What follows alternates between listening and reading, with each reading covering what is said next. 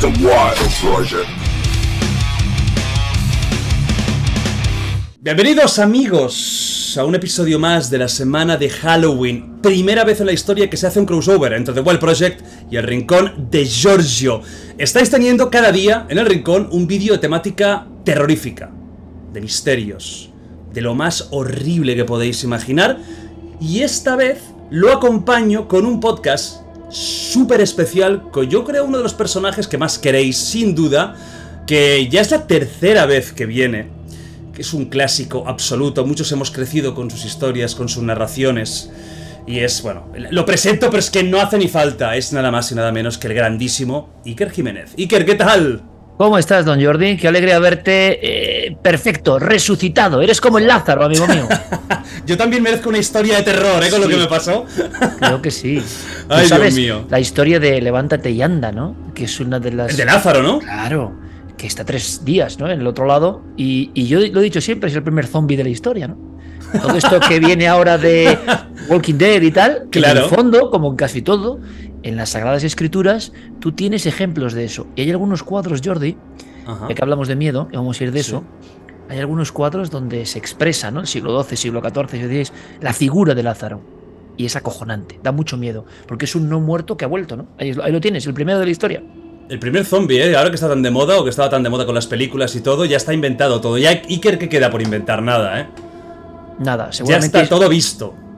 Sí, cuando tú indagas en los códigos del terror, que es de lo que a mí siempre me ha interesado mucho, los códigos del miedo, hay miedos muy diferentes, ¿no? Hay miedos a la violencia que te viene, hay miedos a, a la incertidumbre del destino, pero hay otro tipo de miedo que es el miedo sobrenatural, que cuando lo vives es difícil de encajar, porque no se parece a ninguno, ¿no? Pero cuando vas a las fuentes, te das cuenta que en la antigüedad ya todo eso que tú creías que era nuevo, ese terror diferente, ese terror cinematográfico, ya está contado en los viejos libros y viejos grabados hace siglos, ¿no? Por lo tanto, el ser humano siempre ha estado atenazado casi de la misma manera por los mismos terrores, desde las cavernas. Esto es curioso. ¿Cuál dirías, antes de empezar con las historias, ahora os contaré lo que vamos a hacer, que va a ser chulísimo, ¿cuál dirías que es el terror que más puede petrificar al ser humano? Hombre, hay uno que es evidente, Jordi, y ese es el mismo de Lázaro, ¿no? ¿Por qué le daba miedo a los pintores pintar a un Lázaro con la cara cetrina, una especie de capa, y que veías que no era ni vivo ni muerto? Porque es el que había visto el otro lado. El viaje al otro lado sigue siendo para todos, eh, bueno, pues la gran eh, asignatura pendiente, ¿no? Claro. Eh, yo creo que te lo he contado alguna vez. Tenemos mucha tecnología, pero tenemos el mismo terror absoluto a esa negrura o a lo que haya que tenía el neandertal cuando ponía las primeras flores a sus muertos o las primeras manos de personas eh, se encadenaban como un símbolo ¿no? de eternidad en las cavernas, porque en el fondo no sabemos si es como un metaverso, no sabemos qué es, ¿no? Pero no sabemos. Entonces, tú sabes lo que es una araña que causa fobia, tú sabes lo que es una serpiente, sabes lo que es un terrorista, sabes lo que es el fuego que quema, sabes lo que es la altura que te caes. Pero amigo mío, sobre el otro lado, que sabes que vamos a ir, todos son conjeturas. Entonces, ese miedo, te diría Jordi, que ese miedo es el que inspira el resto de miedos. ¿no? Como, como muramos y vayamos a un metaverso con NFT, yo me bajo, ¿eh? de- de- del universo. Yo desaparezco, no se me ve nunca más, ¿eh? O sea, Nunca jamás. pido la muerte definitiva. Totalmente, esté. totalmente. Bueno, lo primero que os voy a decir a vosotros es que os recomiendo las dos primeras charlas con Iker, que son espectaculares. Eh, esta va a ser un poco diferente, porque aquí no vamos a hablar tanto de, bueno, eh, más de actualidad o de lo que pasa, sino de historias, bueno, de, de- de temática terrorífica que han sucedido en, en diferentes tipos de terror, ¿no? Como él mismo comentaba, hay diferentes tipos de terror, diferentes tipos de historias terroríficas. Entonces yo lo que voy a hacer, como sé que tú vas siempre sin guion y lo tienes todo aquí, yo te voy a lanzar temáticas, Vale. ¿vale? Y tú me cuentas un par de historias de la temática. Yo creo que esto no lo he hecho en mi vida, tengo 50 años. Y por tengo que, por que estar con el tío Jordi, porque siempre aprendo, macho. Siempre aprendo. Bueno, y Tengo, que, quería tengo que decir, tengo que Sí. decir, si me lo permites, Y tanto. que no sabes lo agradecido que estoy a tus entrevistas, que son varios millones, siete millones, no sé cuánto de, Sí. de seguimiento, pero ya no es la cantidad, ¿no? Sino que, por ejemplo, todo este verano pasado me he encontrado con chavales, con chavalas, eh, bueno, de todas las edades, eh, por supuesto, pero mucha gente muy joven que está en otro mundo ya también y no sabes cómo hablan, no, no de que les gustó, sino de la labor que tú haces. Entonces, para mí es como un aprendizaje permanente y estar en conexión con ese mundo eh, que también me enseña mucho. Así que para mí es un honor, tío. El, el honor es mutuo, ya sabes que si todo va bien, yo creo que nos veremos algún día también por tu mundillo, ¿eh? Hombre, Yo no digo nada, pero bueno, me gustaría mucho, yo creo. Yo creo que algo, algo habrá.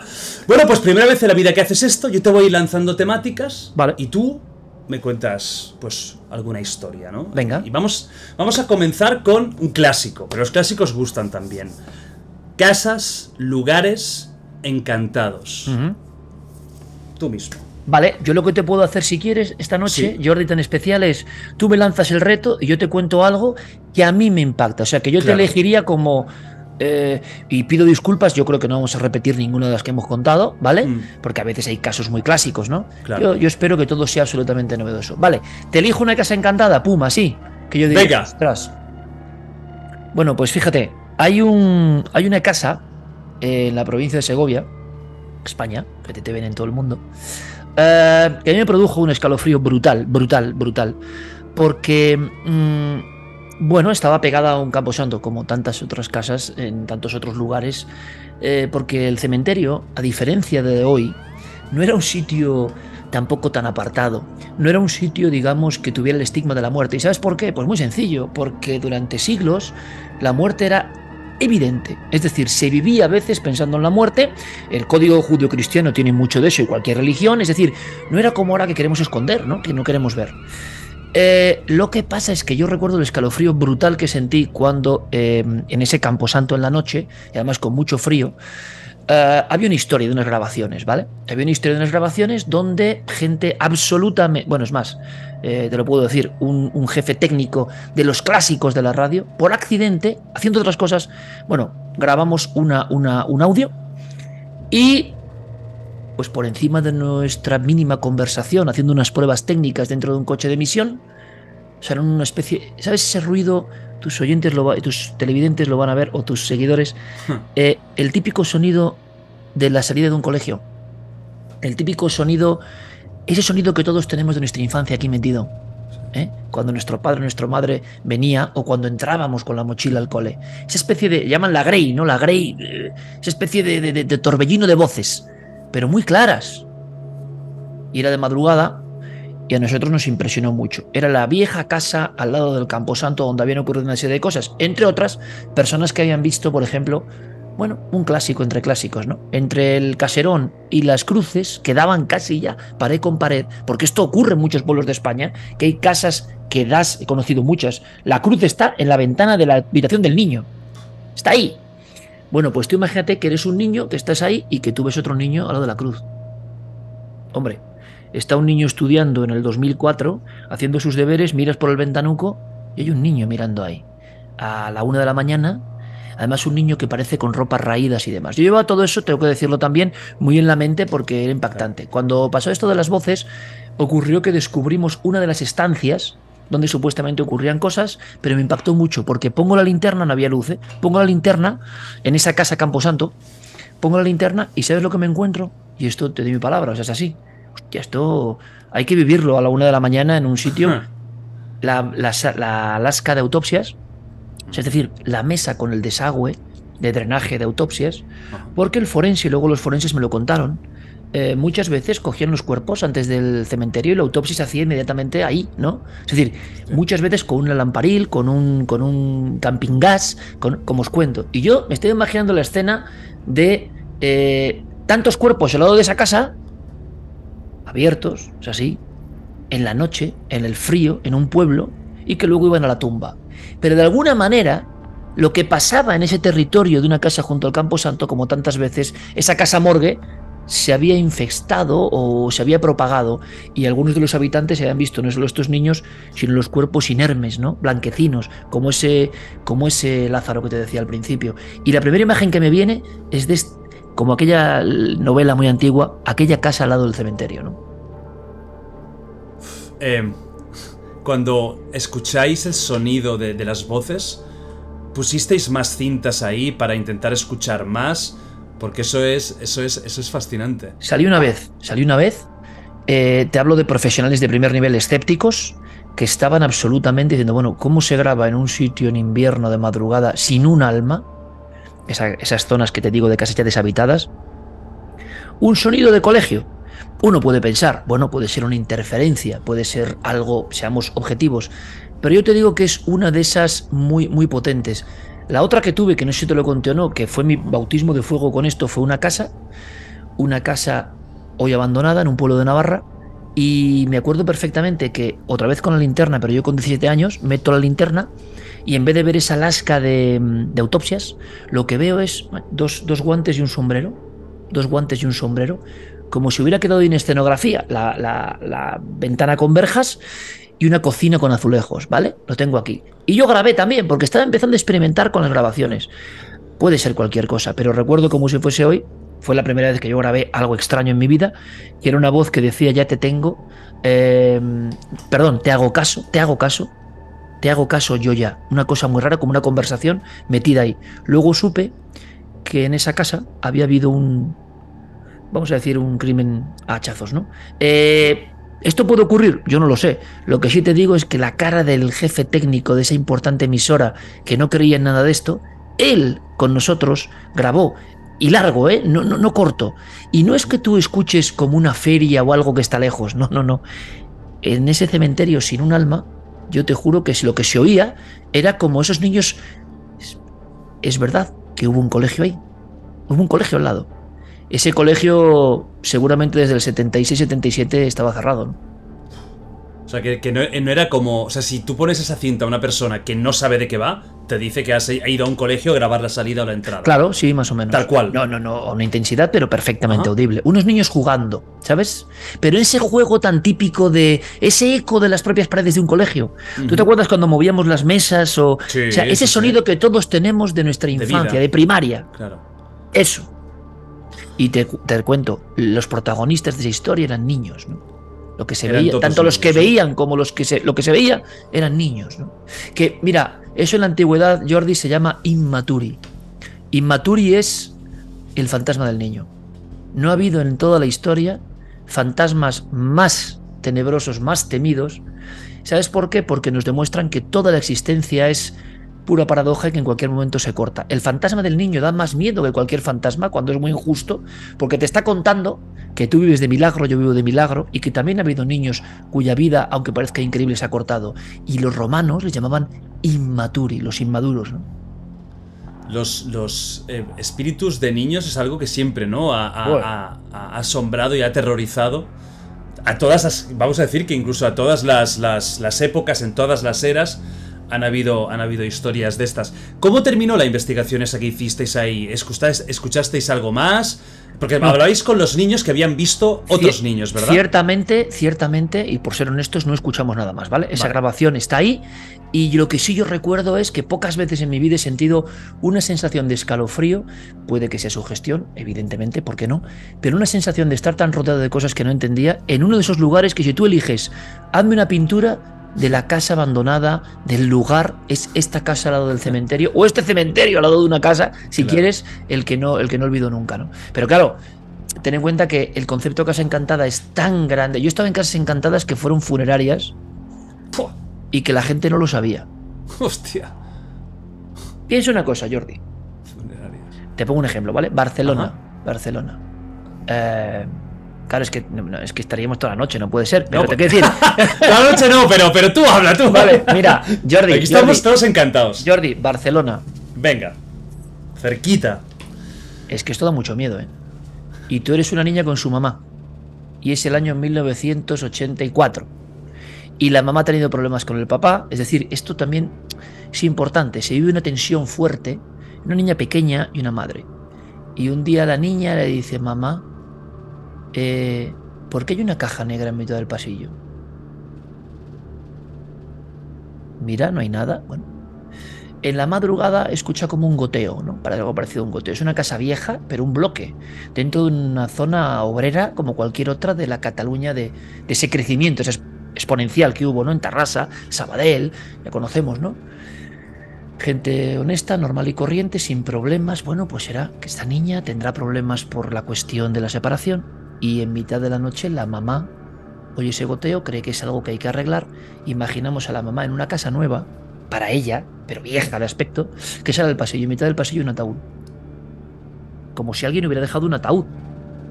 Le da tal miedo, tal pavor, que vuelve a la habitación, intenta llamar a la policía. Cuando vaya a llamar a la policía, vuelve a mirar por el, de reojo por la puerta que quedó entreabierta y ya no hay ataúd. eh, con el tiempo y la investigación, se supo que en los años 40 finales eso fue una funeraria con morgue. No había la menor posibilidad de una gente que venía de fuera de otra comunidad.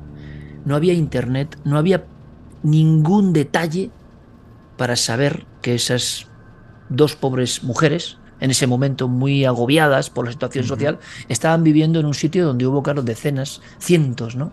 De, de difuntos de, de Sabadell y que de alguna manera, en circunstancias quizá de un shock especial o de sensibilidad alta, el radar de esta niña y de esta madre lo captaron, ¿no? Y ahí empezaron una serie de divisiones tremendas, porque yo recuerdo eh, que la cosa empieza a grabarse y la niña a las tres o cuatro noches dice, mamá, eh, noto como que rascan, ¿no? En la puerta. Pero un rascar decía como un perro, no una persona, un perro, un perro, un perro. Y constantemente, ¿no? Y, y, llegan a ver una figura de un perro o algo así, imposible dentro de la casa. Llega el nivel de absurdeces siempre relacionadas o con la muerte o con algo muy bizarro, que, que duraron 16 días. No pudieron aguantar más, se fueron. Con una situación económica terrible.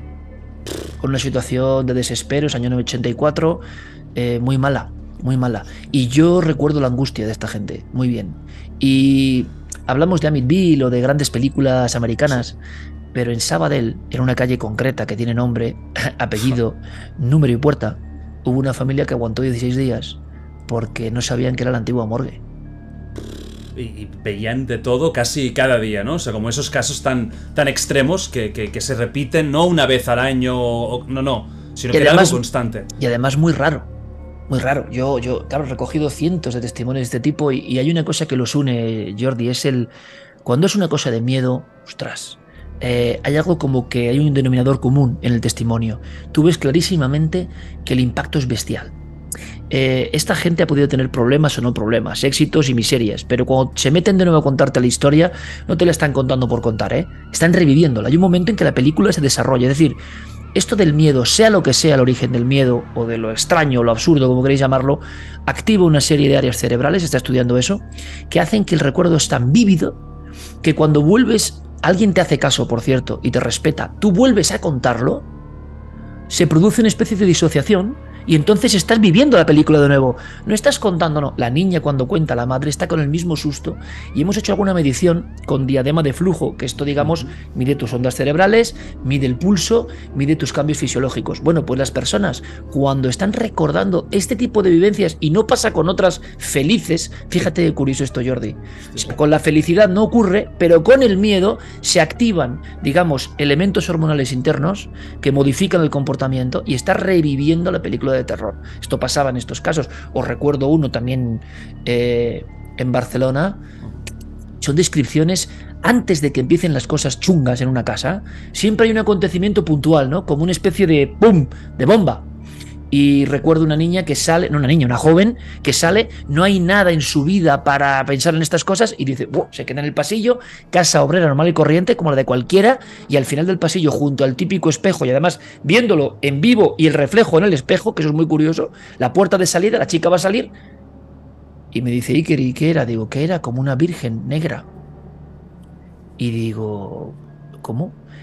Acurrucada una virgen negra o alguien enlutado y que se oía el llanto, como alguien llorando, como una plañidera. Esto luego motivó otra serie de hechos. Es decir, lo alucinante de la casa con fenómenos es que sea una casa normal, que sea una casa como la de cualquiera, donde ocurre lo impensable. ¿no?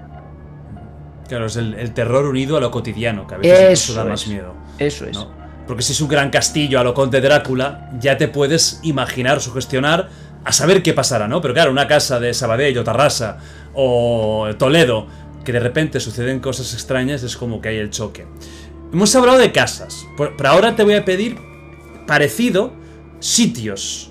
Ya pueden ser más, un poco más peliculeros si quieres, ¿no? Conventos, tal.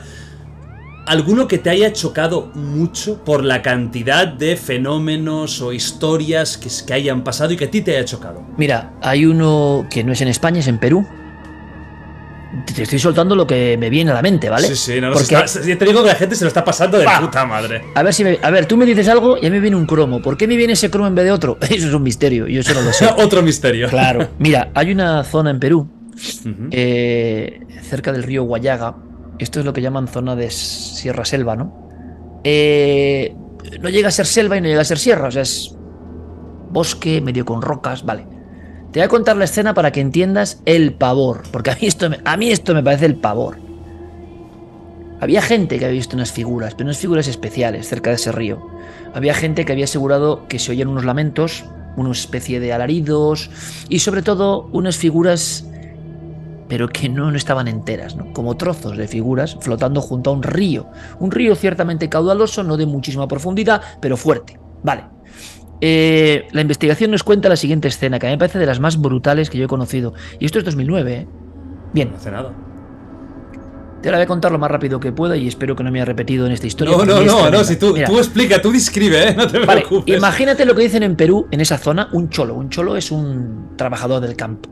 Lo suelen hacer con un tinte a veces despectivo, ¿no? De parte a veces de la ciudad más tal, al, campesino. Es una forma, pero así se llaman allí y así se tiene ese código. Vale, pues este amigo nuestro, con zapatos casi raídos, eh, ropa de trabajar, vuelve a su aldea cerca del río Guayaga y lo hace por la noche y va silbando tranquilamente. Él no lo sabe, él no lo sabe, pero entre unos arbustos hay un tipo parecido, mal encarado, parecido en su condición socioeconómica, que está acurrucado y tiene una caja que podríamos, esto te va a parecer increíble, Jordi, y esto ocurrió y es un caso policial, ¿eh? una caja parecida a un DVD antiguo, algo así. Bueno, ese tipo pulsa un mando, pulsa un, un botón, vamos a llamarlo así para simplificar, y ese campesino que va andando a su casa como cualquier otro día después de venir de una obra, intuye que hay alguien que está detrás, pero no lo sabe, y lo que oye es... Lo que está pasando de verdad es que de, esa de ese cajetín ha salido un cable de acero que tiene al final una hoz en forma de media luna. Esto tiene un nombre en los Andes que se llama la wincha. Y la wincha te descabeza, tío. Entonces, este hombre que va andando sigue andando unos metros sin cabeza. Porque han perfeccionado la precisión para cortar una cabeza andando. En ese río, en ese río se van a encontrar casi 240 eh, osamentas diferentes de cuerpos distintos. ¿eh? Es el río de la muerte. Vale, vale. Además, luego, esto es otra historia, pero luego hubo un intento brutal y ridículo por parte de autoridades de ocultarlo un poco, porque causaron pánico. Tú ya sabes lo de no alarmen, ¿no? Vale. Pero lo cierto y verdad es que había unos tipos criminales que ejecutaban a otros y dices tú, ¿y este nivel de precisión por qué? Si tú puedes saltar a un tipo y matarlo a cuchilladas, lo que sea, ¿por qué este proceso? Bueno, eso nunca lo supimos porque nunca llegaron a declarar por qué hacían eso. Pero lo cierto y verdad es que la segunda fase de esta película de terror es la siguiente. El tipo sin cabeza es llevado desnudado, se le cortan las, las, las piernas y los brazos, se queda como un torso, se gira y se engancha en unos canchos de carnicero, en una tienda de campaña de plástico, se localizaron ocho, ¿eh? Tienda de campaña de plástico. Y hay unas mujeres enlutadas, como decíamos antes, que llamaban las mamachas, que, bueno, con sus ritos, es brujería esto, ¿vale? Con sus ritos hacen unos cánticos. Han robado de las iglesias cirios y han colocado esos cirios calientes con la llama sobre ese cuerpo sin cabeza y sin extremidades que está colgando como una pieza de ternera de una carnicería. Y esa grasa está cayendo en los botes. Esta es la historia. Y fue tan impactante porque no es la primera vez que pasaba, sino que en el 2009 se descubre. Pero esto pasaba desde los 70. Eran pandillas de ejecutores que vendían grasa humana, ¿de acuerdo? Toda esa historia que hemos oído de Sacamantecas es en el Perú. hay varios sitios, pero sobre todo en ese río de la muerte. Bueno, pues todo ese entorno es tan brutal. No te extraña que haya ecos de todo eso que ha quedado, bien sea en la memoria popular o porque de verdad la gente, la gente veía trozos y mucha gente no sabía lo que había pasado. Es la policía en el 2009, la de Nicri, la que descubre las tiendas de campaña de la muerte en la Sierra Oscuras con las luces de vela. Imagínate, yo he hablado con esos policías. Imagínate el impacto de que te encuentras un tío colgado sin cabeza ni brazos ni pies, desgrasándose como un cerdo para recoger eso que luego ¿Qué circuito tuvo? Pues es otra parte de la historia. Pero imagínate eh, lo que significa ese río hoy, el respeto que le tienen a ese río. Es el río de las apariciones, desde antiguo, en, en Guayaga. Y esa, y esa, esa grasa era, se, se compraba en un para, para, para rituales o para morbosos, o se sabe más o menos qué mercado había. Yo hice un reportaje sobre esto. Ajá. Y había un mercado brujeril y había sospechas de un mercado estético. ¿Estético? Ujú. Es Como decir, si tuviera algún tipo de propiedad positiva o algo. claro, claro. Joder. Si es que la brujería, mira, nosotros, ahora me hace mucha gracia, ¿no? Cuando tú lees estos libros un poco Happy Flower, sea una bruja y toda esta hostia. Es decir, te quiero decir, eso está muy bien. Serán herboleras, serán herboleras, serán gente que le gustan las plantas, de acuerdo. Todo esto que nos han contado la historia de que había brujas buenas y malas es relativo, porque había conocedoras druídicas, ¿no? De, de- de- de- de- de- del mundo vegetal, ¿vale? Siempre ha habido personas, eh, desde la religión, por cierto, también, que han utilizado la farmacopea. Si uno de tus oyentes o seguidores va al Escorial, va a ver una de las grandes bibliotecas secretas muchos años de farmacopea. Es decir, los monjes, las monjas, eh, los, mm, em, digamos, curanderos, eran conocedores de verdad. Primero porque no teníamos tantos analgésicos y tenían que conocer muy bien. Y por supuesto en Perú igual y en América igual. ¿Qué ocurre? Que hay toda una línea que se cuenta menos porque es políticamente incorrecta, que es, y es así, y es la brujería maligna. Y la brujería maligna, amigo Jordi, ha tenido clientela mucho más que la brujería benigna, ¿vale? Entonces la brujería maligna se encargaba de la grasa, se encargaba del tráfico, y esto es una pura verdad, de neonatos, es decir, de ir a los cementerios y sacar los cuerpos frescos todavía de aquellos niños, que eran muchos entonces, que no habían llegado a, vivir, ¿vale? Y si queréis saber más de esto, pues vais, ponéis, por ejemplo, Goya, pinturas negras o aquelarre, y vais a ver cómo las brujas de Goya no son las brujas guapas de Disney, son unas señoras enlutadas que llevan un palo, y en el palo, ¿sabes lo que llevan, Jordi? Los fetos secos colgando de niños del cementerio, porque algunos utilizaban y otros los dejaban un tiempo en el palo porque adquirían más propiedades. Cuando nuestro amigo Guillermo del Toro hace El Espinazo del Diablo, una película que habla un poco de estas tradiciones antiguas, con no hace sino remontarse a la farmacopea brujeril de magia negra española, también americana. ¿eh? En Perú, en Colombia, en Chile, en México, todo esto ya tiene una tradición y encima se une a la tradición española y se genera una brujería muy potente. Entonces, te quiero decir, esto ha existido siempre. Te voy a contar una anécdota que a mí me pareció terrible. Estando rodando en Cuzco, ciudad maravillosa de Perú, muy sagrada, muy llena de incógnitas, eh, sé que hay una historia que veneran a una figura, una especie de momia que se llama el niño compadrito. Bueno, que además tiene fama de maldito, de maldecir, bueno, un rollo tremendo. Yo digo, es imposible que haya gente aquí. Cuando llego a una barriada muy degradada de Cuzco, eh, llego con la cámara, con no cierto, sin problemas, me encuentro una, lista de gente, una línea de gente joven, sacando velas de grasa del compadrito y poniendo los nombres de quien quieren maldecir. Esto es en el 2012. Te quiero decir, la magia negra y el, el supuesto actuar de las fuerzas oscuras contra alguien ha hecho que este negocio esté siempre. Entonces, esta gente en Perú eh, comerciaba con esa grasa humana en parte para esos motivos, ¿no? Y a mí me ha parecido uno de los lugares más sobrecogedores que yo he imaginado. Porque si esto ocurrió en el 2009, Jordi, pero sabemos que noticias desde los 70, ¿cuánta gente ha sido ejecutada con procesos diferentes en un, en un río que tampoco es tan grande? ¿Perú es el país de Latinoamérica que a este nivel más te atrae? Sí, sí, sí. sí. Ese es Perú. Sí, sí, sí, sí. Lo he rodado muchas veces porque tiene todo, ¿no? Eh, no es que otros no tengan, ojo, eh, fíjate México, eh, fíjate Argentina, fíjate Colombia, fíjate Bolivia. En Bolivia estuve a punto de perder la vida, eh, como en algún otro lugar haciendo reportajes, lógicamente. ¿Se sí. puede saber lo de Bolivia? Sí, claro, como no. Mira, ¿Qué- qué a punto de perder la vida, está a punto de perder la vida en Bolivia, en la frontera de Desaguadero. Está a punto de perder la vida en Israel, en las cuevas del Qumran. Y está a punto de perder la vida dentro de la Gran Pirámide. Que no se lo agradezco. O sea, no, no le aconsejo a nadie sentir un Kalashnikov dentro de la pirámide. Pero bueno, o sea, te, te apuntaron con un Kalashnikov dentro. sí, sí. Esto no te lo he contado, porque yo, claro, como no sé lo que no, no, que no, no, qué va, qué va. Cuéntame, cuéntame, si puedes, cuéntame. Son Bueno, ¿eh? sí, es de miedo también, porque la pirámide, joder, la en la tarde-noche da miedo. Joder, no, no, y un Kalashnikov más. Sí, eso sí. ¿Ves? Ah, Pero ahí se conjuntan un poco los dos miedos, ¿no? Es más, daba miedo el Kalashnikov, eh, te lo digo yo. Eh, bueno, esto es la Gran Pirámide. Esto es hace, te hablo de que yo ya soy un mayor. Esto es hace 25 años. Y yo era un reportero muy. O sea, hoy no se entendería, ¿no? Yo me doy cuenta que hay muchas cosas, ¿no? Eh, hace poco me llamaba una compañera de televisión de otro programa para preguntarme unas cosas. Y me dice, Iker, pero estas fotos, ¿dónde las conseguiste? Eran fotos de un cuerpo, en fin, en la sala de autopsias, es cierto. Y hoy la gente Yo lo entiendo, ¿eh? Pero los periodistas que hemos nacido diciendo, yo tengo que sacar el documento porque si no, no me creen, eh, sí, éramos capaces de muchas cosas. Yo lo entiendo que eso ahora no está tan bien visto. Pero una parte del oficio del periodista es decir, como en caso, Reverte te, habrá contado. como en caso, lo claro, como en pueblo, como en tal. Yo no he visto y, lo, y voy a devorar tu entrevista. la realidad. Pues fíjate, yo no lo sabía, pero mm, incluso cuando uno viera periódicos no te puedes creer, ¿no? Para todo el mundo les criticaría y el miedo a.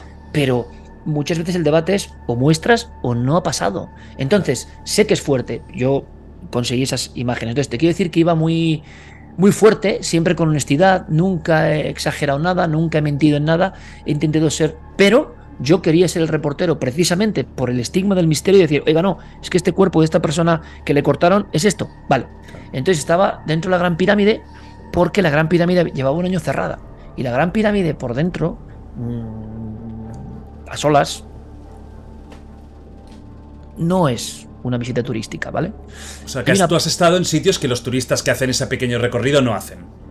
Sí, claro. Yo he estado, por ejemplo, en la cámara subterránea de debajo de la pirámide. O sea, la pirámide es la pirámide, llaman de Keops, ¿no? Vale, la pirámide de Keops en Gizeh, vale. Pero lo que la gente no sabe es que hay un pasadizo que tienes que ir arrastras varios metros y eso es verdad que a mucha gente no acostumbrada le impacta un poco y sales a una zona que sabes cómo le llaman, eh, Jordi, cámara del caos. Y esa cámara del caos es la supuesta cámara inicial, ojo, que ya queda bajo tierra y, y tú notas ahí los dos millones de bloques de la pirámide en tu cabeza. Y cuando estábamos ahí, Jordi, además se fue toda la iluminación que había de la pirámide, que tienen ciertas zonas, nos quedamos oscuras. Bueno, yo andaba haciendo una cosa, ¿no? ¿Cuál era mi misión? Lo puedo contar, no hay ningún problema. Sobornamos a unos policías que custodiaban la pirámide en Gizeh. Eh, ¿Sobornamos en qué sentido? Mira, hasta con cosas de, oye, de verdad, dejadnos por favor, somos, eh, era un compañero y yo, somos unos reporteros españoles y solo queremos saber qué se está haciendo dentro de la Gran Pirámide que lleva año y medio uno de los monumentos más importantes del mundo cerrado. Porque se sospechaba, Jordi, se sospechaba que un buen amigo nuestro, eh, un tipo excepcional, un ingeniero que vive en Mónaco, Rudolf Gantenbrink, había metido ya un robot llamado Upuaut dentro de un canal y había descubierto una estancia desconocida en un tubito muy pequeño de la pirámide. Las imágenes dieron la vuelta al mundo, son como dos puertitas. Y como llevaban año y medio cerrados, no sabía nadie por qué, pensaba la gente que había nuevas expediciones, en este caso japonesas, buscando cámaras secretas. Y bueno, por favor, Egipto es otro. Por favor, por favor. Total, que nos dejan entrar. Y cuando ya estás dentro de la Gran Pirámide, en absoluta oscuridad, cámara del rey, cámara de la reina, eh, yo escucho a mi espalda de repente, no foto, no flash, no foto, no flash. Yo estaba viendo fotos, ¿no? Joder, pero digo, no estábamos solos, ¿no? No, no estábamos solos.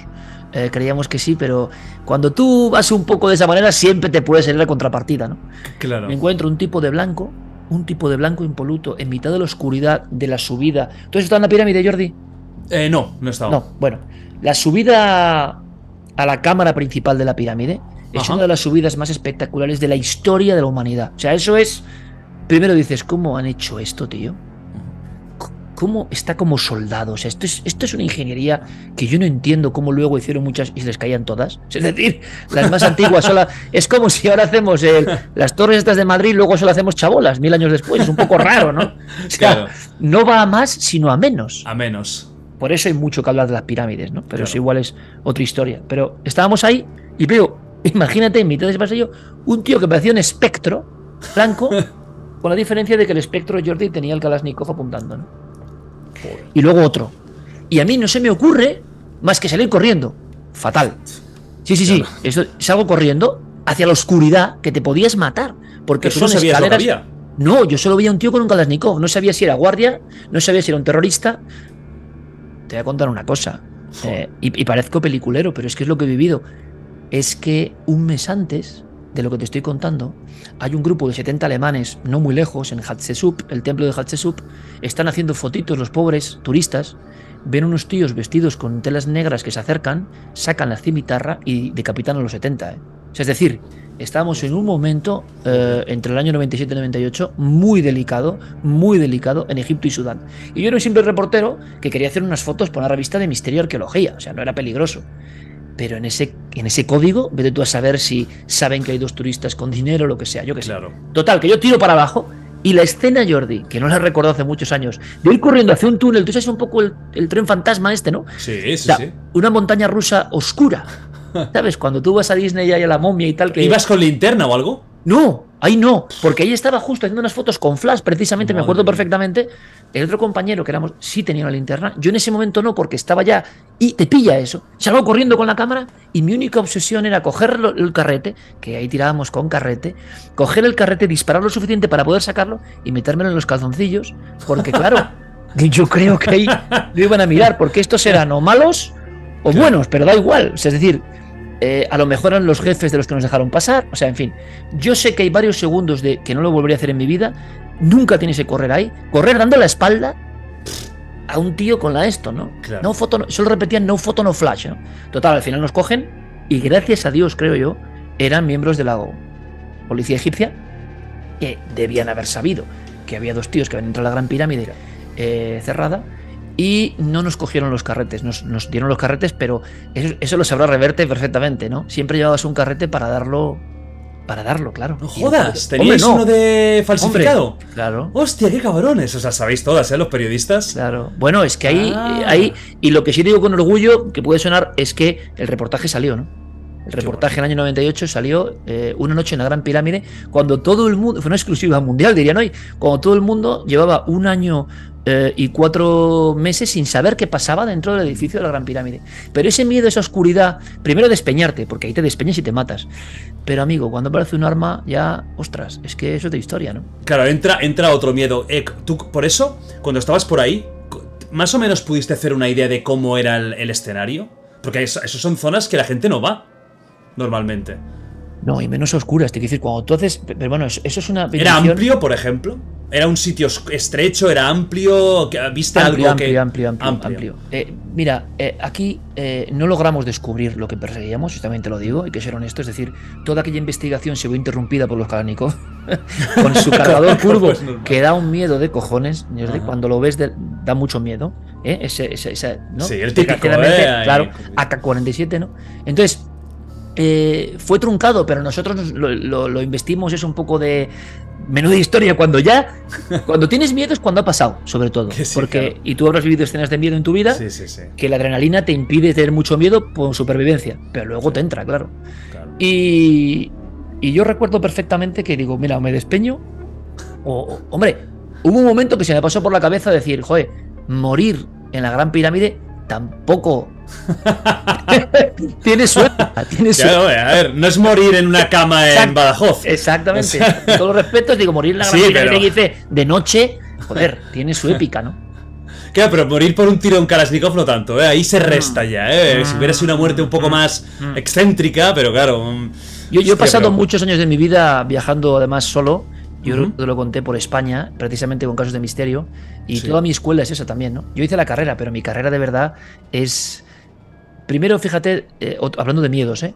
Saber controlar el miedo cuando vas solo es muy importante. Ser muy frío y no meterte en líos. Y eso es. A veces los líos te vienen.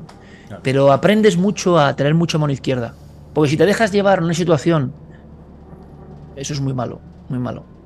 Reverte decía que él tenía miedo, pero nunca pánico. Y que ser. por eso, en momentos críticos, estaba cagado, pero no tenía nunca pánico, nunca perdía el control, que es un poco la clave, ¿no? De estos momentos de, de- de- de- de improvisar, que se te habrás encontrado con mil, ¿no? De que tienes que improvisar con Claro. gente que no conoces, que van a por muchas ti. veces, muchas veces. Y además en lugares es otro tipo de miedo, ¿no? Eh, eh, a veces no hace falta que sea un lugar tan lejano, ¿no? Los problemas pueden venirte en cualquier instante. Y yo creo que eso el periodista siempre es muy hábil socialmente, porque sabe que no puede... eh, Es como juegas en campo ajeno, tío. O sea, no estás en tu casa. Entonces mm, te debes a la gente, tu información depende de ellos. No puedes ir de borde o, o- o creer que eres, como pasa con algunos compañeros, el rey del mambo y lo hago porque sí. Todos hemos tenido errores, evidentemente, ¿no? Pero yo me curtí mucho y pasé mucho miedo. Eh, yo no sé, por ejemplo, en la zona extremeña de las Urdes, que volví ahora, 20 años después. eh, miedo, por ejemplo, porque había supuestas apariciones y figuras, otro tipo de miedo. Y yo te llevo a decir, sí, llegas a sentir casi, no sé, la presencia, ¿no? Cuando tú estás hablando con mucha gente que ha visto cosas raras, que han salido en batida con escopeta de caza, y tú estás solo por esos caminos, pues es algo que nunca sabrás si es la sugestión o, que realmente en ciertos momentos de estado alterado de conciencia tú llamas un poco a esto, ¿no? Tú, tú, tú, tú llamas. Mira, yo te diré, Jordi, que con todo esto de la guerra yo lo he pasado muy mal. Bueno, la guerra, el atentado terrorista inicial, luego lo de los bombardeos, pero te lo conté, yo lo he pasado muy mal, muy mal. Tan mal que casi enfermé, yo creo, por sobredosis de información y estaba durmiendo aquí en un sótano que hay aquí en mi casa aunque estaba trabajando hasta muy tarde, y te juro que me daba la sensación de que a veces el mal un poco te rodea, te ronda, ¿no? Es como una nube, es como una nube. Imagínate estos que se ponen a verificar en Facebook y están viendo violaciones de niños, crímenes, sangre. Eso no es gratis. Eso pesa, tiene una densidad. El ser humano siempre ha creído que eso impregna. Y a veces hay que tener cuidado y poner cierta distancia porque si no, el miedo puede enfermar a la persona, ¿no? Sí. ¿Estás mejor ahora? Sí, sí, perfectamente. O sea, ya has, superado ese primer impacto, ¿no? Porque al final son muchos inputs. Muchos. Por todos lados. Muchos. Complicado. Sí, sí, sí, sí. Y yo te quiero decir que hay muchos sueños de los románticos, ¿no? De, no sé, Goethe o, o Alan Poe, que decían que en mitad de la febril creatividad o angustia o depresión hay algún sueño tremendo que notan, dice, ya sé que es la muerte, ¿no? Que está rodeando mi cama. Ya sé que es la muerte con su capa la que está aquí esperándome y no... Bueno, pues de alguna manera, eh, llevándolo al mal, a la densidad, a lo chungo, ¿no? Si ahora tenemos más oportunidades que nunca de meternos en eso, yo mm. recomendaría, de verdad, no soy nadie para recomendar, pero hay una enfermedad, ¿no? Eh, mira, los cuatro jinetes del apocalipsis, ¿no? Que eran la guerra, el hambre, la peste, ¿no? Eh, y la muerte. Em, siempre se ha creído que el miedo, el terror, la oscuridad, lo denso, posee de alguna forma a la persona y la enferma, ¿no? Y, se, ha, hablado de enfermedades del alma desde la antigüedad. Hay que tener mucho cuidado. En los tiempos que vivimos de interconexión hay que tener mucho cuidado, porque hay algunas cosas y creemos que, ah, mira qué morbo, no sé qué, quedan en algún sitio. Quedan en algún sitio y actúan, ¿no? Y son otro tipo de temor. Hay que tener, hay que exorcizarse contra eso, hay que tener cuidado. Claro. Sí, también con, las cosas del mal que vemos real, ¿no? Que no hay manera de, de, decir si existe o no, sino que es el que, el que cada persona vive y hoy en día están intercomunicados, que es un no parar. Me he quedado con ganas de escuchar la historia de Bolivia, ¿eh? de la que casi no la cuentas. Si quieres te la cuento, pero vamos. Eh, o... Esto es una frontera entre Perú y Bolivia, precisamente, una frontera en carretera. Ah, te lo cuento rápido y me veo en un follón, en un... me he visto varias veces, pero ahí solo. Y es un sitio de estos que tú dices, yo hago una película de crímenes y la hago aquí. solo faltaban. me, recordaba un sitio que si yo luego te cuento de miedo, que estuve en Chile, de una antigua carnicería. No, perdón, lo que sería un antiguo matadero, abandonado. Desde los años 40. Pero que parecía que todo seguía ahí. Era un sitio terrorífico. Bueno, pues este era parecido, pero con mucho bullicio de gente. Y se, eh, y se empieza a producir una reyerta, ¿vale? Donde tú ves enseguida el descontrol, ¿vale? Eh, el brillo de un cuchillo, la movida gorda entre gente que no sabes quién te va a proteger, mucha gente que además estaba bebida porque curiosamente eran unas fiestas. ¿Tú solo? Yo y sí. Ah, en ese momento sí, porque iba con un compañero solo, íbamos dos, pero él no estaba en esa estancia. Porque él se fue a rellenar una cosa para un visado.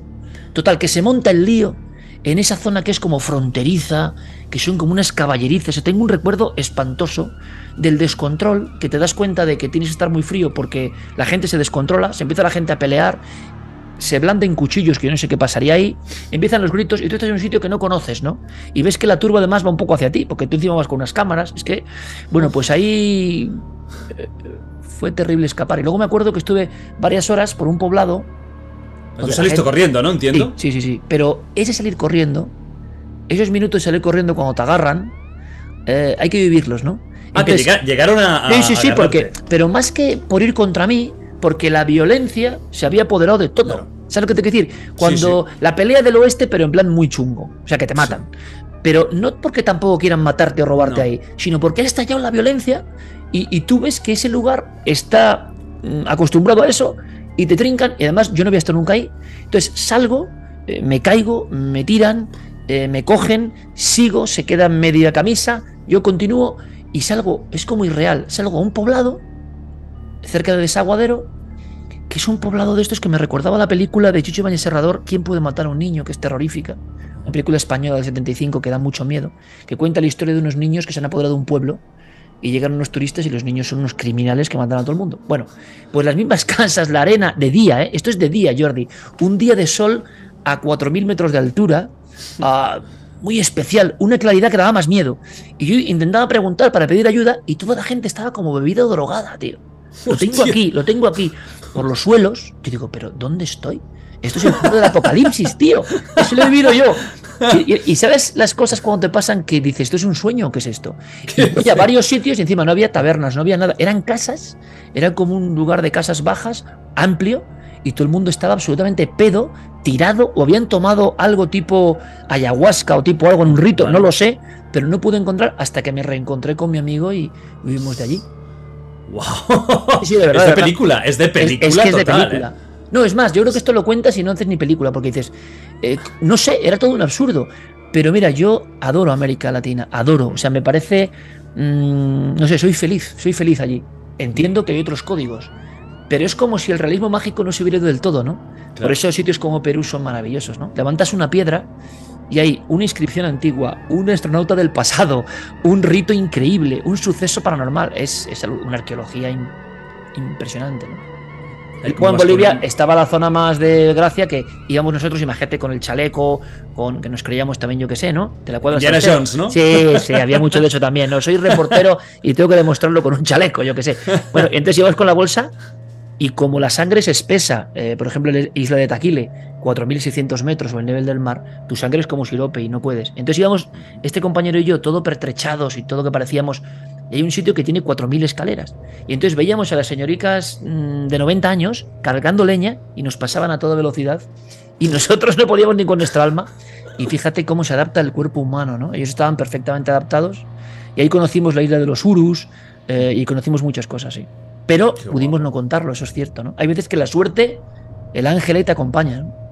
Sí, y, el, y el, bueno, y la capacidad que también a lo mejor tienes de, en ese momento no perder la compostura y no, y, no ponerte acurrucado a llorar. Claro, no, claro, eso no. Y ahí ya estás, ya, ya estás. No, no, entonces ya...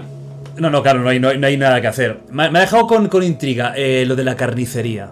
Sí, esto da miedo. Mira, este es un sitio, eh, Jordi, hablando de sitios raros, ¿vale? Sí. Con espectro. Vamos, si quieres, te digo espectro. Vale. Eh, este es un sitio cerca de Santa Laura, en em, Chile. Para llegar allí tienes que ir por la carretera considerada más peligrosa del mundo, cosa que es una es, es, es, de flipar. El día que fuimos nosotros se cayó un caza, o sea, el día que fuimos nosotros un caza del ejército chileno, te lo juro. Y yo hice un reportaje en un coche con un compañero que nos llevaba. Ahí estaba Carmen, que yo también, o sea, ir con tu mujer, ¿no? Dices, una gran idea. Sí, sí. estábamos los dos grabando, ahora un reportaje maravilloso, grabando en una grabadora, Jordi, de mano, te hablo del 2009, los dos en el coche atrás a oscuras, estaba, nos encontramos un caza que se había caído y la carretera toda llena de, como de barricadas de camiones de... Mm, ruedas de camiones ardiendo. Y yo le pregunto a, la persona que nos llevaba, que era amigo de allí, que era un poco el que nos hacía de guía, eh, un tío estupendo, loco, perdido, y, me, y le digo, pero esto de los neumáticos... Eh, no, dice, esto es como ustedes hacen el triángulo, aquí prendemos fuego al neumático para darse cuenta la policía que tiene que llegar dentro de unas horas. Digo, pero ¿qué es esto? Era todo Mad Max, apocalíptico. Es la carretera que va, es una carretera que llega hasta Iquique incluso, por toda una serranía, y según vas pasando, Jordi, tú ves un coche de taxista con flores, una crucita con unos muñecos, a cada tres metros, cruces, cruces, cruces, cruces, le llaman capillitas, son de la gente que se ha matado ahí. Bueno, pues yendo a Santa Laura por esta carretera, es un sitio que fue muy feliz, que hubo mucho dinero por el llamado eh, los nitratos eh, y el salitre. Chile vendía a todo el mundo. Chile es un país que me encanta, maravilloso. Pero esta es la parte más bizarra, ¿no? Es mitad del desierto, ¿eh? Y entonces, esa gente, como pasa a veces, dejó de vender. El salitre no tuvo un, una caída brutal. Una burbuja, ¿no? Que, peta. Tipo caída del petróleo. Ajá. Se acaba esa industria. Y entonces, cuando llego allí, está el teatro, está la piscina toda oxidada, piscina olímpica, está la guardería, está toda una ciudad, varias ciudades, ¿eh? son más de 20 ciudades, eh, donde no hay nada. Hay algunos sitios donde están los juguetes, hay, bueno, brutal. Y además había mucha historia con cosas raras, ¿no? Está Santa Laura, está la máquina, está Humberstone. Vale, pues en uno de esos sitios, yendo hacia Humberstone, estaba el matadero. Mira, Jordi, aquí sí con linterna. Cuando tú entras, Carmen y yo entramos al matadero, dices ni la matanza de Texas, ni. O sea, es que no puede ser que esto exista. Lo maravilloso del mundo es que hay cosas que tú creías que eran ficción y no. Y no. Unos ganchos levemente moviéndose de verdad por el aire, oxidados, en pizarras todavía ternera, cerdo y 1946. Era como un pasillo de congeladores y azulejos verdes, ¿te imaginas? Bueno, total, varias personas, incluso militares chilenos, habían salido ahí aterrorizados. ¿Pero qué habían visto? Un tío al fondo, con una bata blanca, que se aproximaba como queriendo atenderles. Cuando caminaba unos metros, aquello se esfumaba. Y la gente salía, pero llena de pánico. Y había la historia, o se creía la historia, había dos historias allí. Una es la del carnicero, el último carnicero, que habían matado o asesinado en este lugar en ciertas trifulcas. Y había otra que es brutal. Imagínate el cementerio de este sitio. El cementerio de este sitio, yo tengo fotos y... Es que no te, lo puedes, o sea, no te lo puedes creer. Bueno, pues había junto al cementerio otra vez de este sitio, muy típico, los dos únicos supervivientes o, que, o dos personas que no querían irse. Y todo se había hundido, pero ese matrimonio no quería irse. Y un día la mujer está comprando en el mercado y el marido, un hombre súper afable, arreglaba aquellas tumbas. Tal. Macho, llega un mendigo de nadie sabe dónde. Un mendigo que luego se atrapó con barbas largas, una especie de túnica y de huella. O sea, la escena es mata al Joder. único habitante de ese sitio y lo de güey. Dices tú, o sea, eh, y luego lo atraparon, ¿no? Ajá. Nunca dijo por qué, un enajenado. Es el crimen del cementerio de Humberstone. Entonces, todo ese ambiente es brutal. Y si quieres algo más, estaba, por, por si ya faltan iconos, Sí. pasaba la vía del tren y está la historia de una madre con una hija, y es verdad, la historia, 1927, se le escapa y la atraviesa el tren, la destroza. Y desde entonces la, la creencia de que esa niña junto a la vía aparecía en este lugar, ¿no? Pero aún con vida. Claro, imagínate todas estas historias que recogimos allí en ciudades sin vida, pero ciudades grandes, sin vida, sin nadie. Un Chernóbil, pero en el desierto de Chile, ¿no? Hostia. O sea, un Chernóbil sin radioactividad, es decir, por, por una crisis económica, por el fin de una industria, todo eso intacto, pero ya oxidado, ¿no? Eh, eh, con, con desgaste. Y ahí se, se notabas, ¿no? Que ahí el, el aura de. No, ahí grabamos también, y tengo que decirlo, grabamos algunas. ah, bueno, hay un momento en que entramos en lo que era un teatro, porque estas ciudades tuvieron mucho dinero. Estas ciudades, salvando las distancias, eran un poco los jeques de la época. O sea, para Chile, eh, los magnates del salitre o del nitrato de Chile, Ajá. muchos amigos que sean de España, que te sigan, dirán, joder, si yo he visto en algún pueblo español, y los hay, ¿eh? Un cartel de una especie de caballero con un saco que pone nitrato de Chile. El nitrato de Chile fue como el oro de la agricultura, ¿vale? Salió de aquí. Entonces, claro, se hicieron multimillonarios. Y es verdad que vivían en sitios aparte, en mitad de la nada, pero eran multimillonarios. Entonces, tenían un teatro impresionante, iban las grandes estrellas de la época. Bueno, entramos en ese. Quien quiera verlo, que busque Humberstone Cuarto Milenio o Salitreras Chile Cuarto Milenio, si quieren. Entramos en ese teatro y vamos grabando en silencio con una sensación de. No sé cómo estará ahora, ¿eh? pero o sea, era. Era, era un teatro vamos. impresionante. Era teatro. Te imaginabas ya el acomodador con, ¿sabes? Las borlas estas aquí. Sí, de, de altísimo standing. Altísimo standing, maderas traídas de no sé dónde. Lo mejor. Y cuando entramos estaba el escenario. Yo me subo al escenario, que impresionante. Y. Joder, no, no sabría decirte porque no quiero mentir. La frase exacta, pero en la grabadora sale algo así como una voz grave, además, que era sean bienvenidos o. Algo, algo así. No, no, no te pu- Sí. Carmen te podría decir. Pero Como yo. algo de entrada, ¿eh? Sí, sí, total. Pero como si fuera una voz engolada antigua. Sean bienvenidos o. Algo. Igual no es exacto, estoy mintiendo si te digo eso, pero era una voz como que daba la bienvenida. Y me acuerdo que los tres, Carmen, eh, el compañero chileno que nos acompañaba y yo, porque la oímos en el coche en esa vuelta, con el caza caído y, la, y, la- y las, y las ruedas en llamas. El O sea, mejor lugar para escucharlo. Sí. sí, porque sabes que no es muy bueno escuchar las cosas en el sitio, ¿no? No es bueno. No. ¿Por qué? ¿Por, por, por, por qué pasa si lo escuchas ahí mismo al lado? te puedes despeñar, te puedes caer por la montaña, te puede dar un ataque de pánico, pánico, de verdad, porque lo he vivido. Y no, no, no ha pasado, pero sé de gente. Es decir, la todos somos más débiles de lo que parece.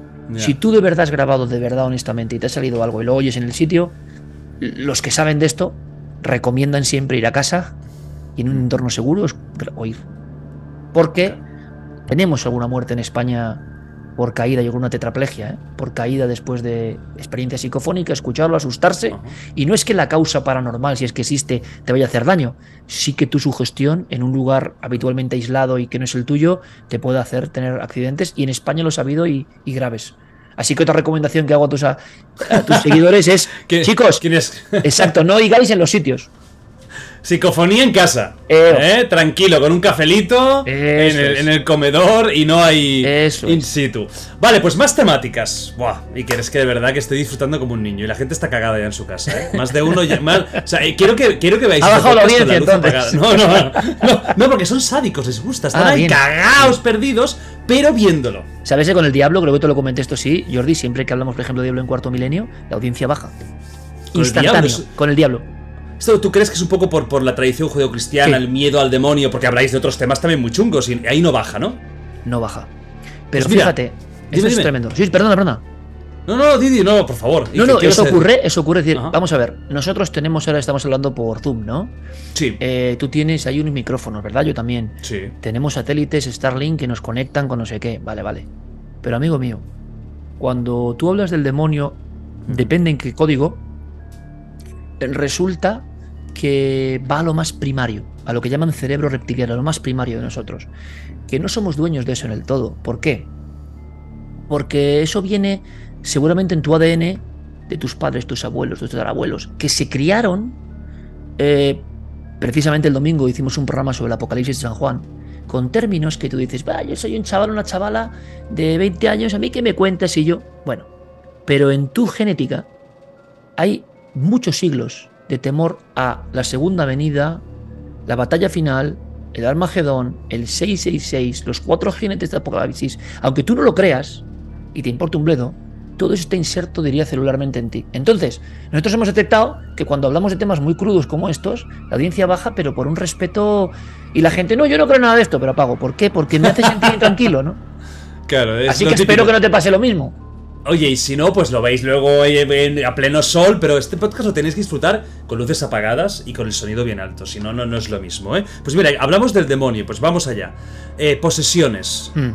¿Qué historias de posesiones, de exorcismos te han impactado más? ¿Crees que son más impresionantes, eh, duras, eh, difíciles de explicar?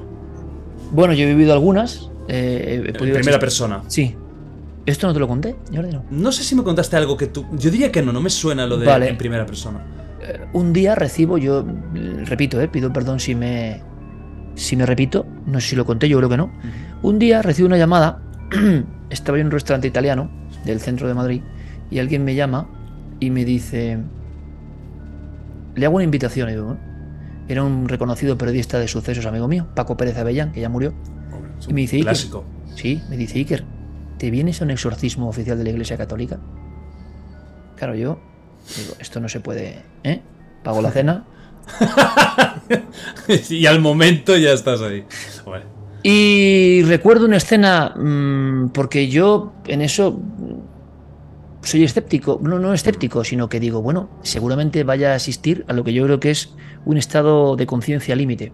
Pero ¿qué ocurre? Que como tampoco sabemos bien qué es el cerebro, ni cuáles son los estados de conciencia límite, ah, amigo mío, cuando tú ves eso, dices, bueno, puede que tenga una raíz mental, pero todo lo tiene, pero ojo, eh, que yo no sé qué está pasando aquí. Primero me impactó porque era un subterráneo de una iglesia, o sea, no estaba hecho en, la superficie.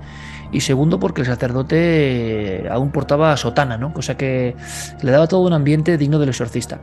Tercero, porque vio una cría estudiante aparentemente normal y que después de unas prácticas con Ouija había empezado a, ver unas sombras que no se iban. Esto es muy clásico. La imagen de sombras que acompañan. Nadie sabe si esto es una sugestión, un problema. Algo, dicen los psiquiatras, de cierto lóbulo, lóbulo prefrontal, bueno, que genera esa especie de visión. Y yo le digo, mire usted, a mí me parece muy bien, pero la persona está viendo esas sombras y las identifica como sombras que vienen a por ella. Bien, no es agradable en absoluto en una mente joven. Total, que de alguna manera, después de pasar por los psiquiatras, como en la película del exorcista, el destino final era eh, eh, este lugar. Había un retablo, había una cruz, había una oscuridad absoluta, había una especie de semicúpula. Sé que también parece de cine, pero así lo viví y además no fue solo una vez cuando estuve. Eh, la segunda fui no solo con este periodista, sino con un psiquiatra. Y me impresionó mucho porque mm, yo creía que iba algo que iba a poder controlar.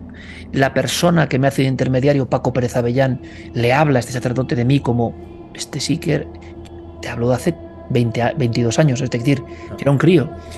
Más o menos, ¿no? Entonces tenían que avalarme, ¿no? Para. Claro, ¿Qué hace este chico allí? ¿Qué hace este chico allí? Y además se me permitió grabar en audio. Todo eso yo lo tengo. Esta es una grabación que yo he puesto en Cuarto Milenio y la audiencia hizo así. Por lo mismo, ¿eh? El mismo tema. Mira, cuando yo llego, escucho un alarido. Que te diré, Jordi, que escucho muchos alaridos en mi vida, pero no como ese. Es como si tú gritas de dolor, como si te están arrancando una pierna, y continúa el alarido, y continúa, y continúa, y no respiras, continúa. Y cuando continúa se convierte eso como un eco gutural, como un eco animal.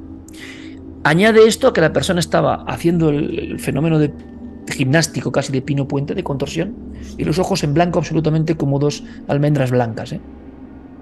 Ver eso, te confieso que me hizo dar un brinco hacia atrás, cosa que al sacerdote no le gustó nada, porque se vio que yo me impactaba. Para él era una labor sacramental que tenía que hacer. Y fue muy impresionante observar eso. Ella no estaba atada ni estaba. Estaba de, pie y. Sin embargo, tanto la madre que asistía como dos ayudantes eh, agarraban y no podían casi con ella, no podían. Insultaba, eh, reía, sobre todo cuando reía daba mucho miedo, porque era una mezcla de una risa forzada, mm, macabra, eh, en ningún momento, me acuerdo, me miró a mí o se dirigió a mí como si yo no existiese, no formase parte de eso. Y, fíjate qué curioso, cuando alguien está en eso y viene un, extranjero, ¿no? Lo lógico sería un paripés, oye, pues intentaré patar. En ningún momento. Yo me senté en un lateral, muy cerca, pude grabar y, fueron tres horas eh, sin parar el alarido, sin parar en ningún momento, sin parar. O sea, era sobrehumano, ¿no? Y cuando aquello paró, es como cuando decía que es una película que es terrorífica, es el exorcista. Ah, en, el caso real sale Exit, una, marca, ¿no? Salida al niño, a Rob al niño real. Exit. Antes le había salido otra que era Hell, ¿no? Infierno. Bueno, pues sin esas marcas, evidentemente, pero sí que estaba vestida. Después de todo ese esfuerzo, sudando, gritando, tal. Y no sabía dónde estaba esa cría. Es más, estaba un poco impactada de dónde estaba había perdido la noción, como un sueño, como una gran pesadilla. ¿no? Le cambiaba la voz incluso, entiendo. Totalmente, totalmente. Pero una voz que es que tienes que. O sea, es que es terrorífico, terrorífico. Es como las entrañas hablando. ¿Habló algún idioma que a veces también se ha escuchado diferente o todo era en castellano? Sí, pero yo personalmente creo que, que no llegó a. Le preguntaba en latín, porque el rito era en latín, ojo. entonces la mujer respondía, la chica respondía. Pero yo no creo que haga falta un conocimiento excesivo de latín para hacer lo que hizo, ¿vale? Si habla de repente aquí con unas declinaciones que, eh, como tú y yo, pero en latín, ya es para pensárselo. No, no ocurrió. Eran muy monosílabos, ¿no? Y lo que sí vi es un esfuerzo. O sea, digo, esta chica o es gimnasta o, está aquí perdiendo energía de una manera que le va a dar algo físicamente. No sé, nunca supe. Y, dos veces estuve ¿eh? con los mismos resultados, sí, sí. Porque era un proceso que duró 18 exorcismos. ¡18! Sí. Según tengo yo controlado, eran 18 hasta que eso, una chica normal, ¿eh? de la facultad y que empezó en la facultad con unas amigas a, vamos a hacer la Ouija. alguien se le ocurrió hablar de, un novio muerto. Alguna un novio, un novio muerto en moto. A ver a qué, a ver a qué, ¿no? ¿Qué sugestión provoca eso? ¿Qué rollo provoca eso? ¿Qué... Pero lo cierto y verdad es que he visto, porque he estado en otros exorcismos, de otras culturas e incluso en el ámbito cristiano, pero más eh, no católico, y es diferente. No, no, hay, lo que se llaman arrebatamientos.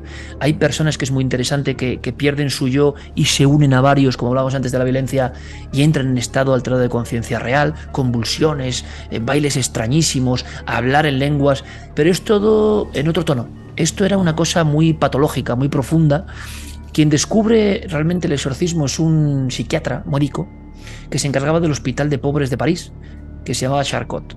Charcot tiene unas fotos que son impresionantes, he hecho algún reportaje sobre esto allí en la Salpetri, porque ve que, sobre todo en mujeres, es la, realidad, sobre todo en mujeres, había unas contorsiones, unas posiciones de las manos, unas muecas deformando la cara, que decía, esto tiene que ser un tipo de enfermedad desconocida que no entendemos y que solo veo paralelismo, siglo XIX, solo veo paralelismo, primitiva fotografía que da un miedo con algunas culturas muy primitivas.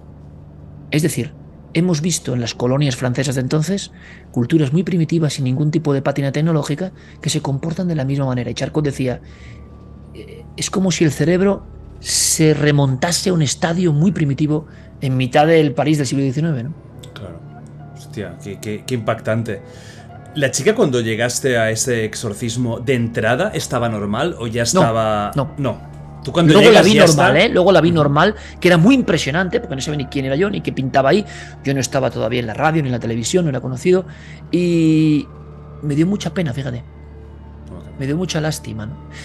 Quizá porque yo andaba impactado porque había estado en Italia, había estado en Turín, y había un caso de una niña que en circunstancias parecidas puede hacer espiritismo y en mitad de la noche abandona su casa descalza, eh, se le encontraron cristales y cosas en los pies, y se, y se tumba en la vía del tren con un libro escrito por ella y deja que el tren pase por encima, ¿no?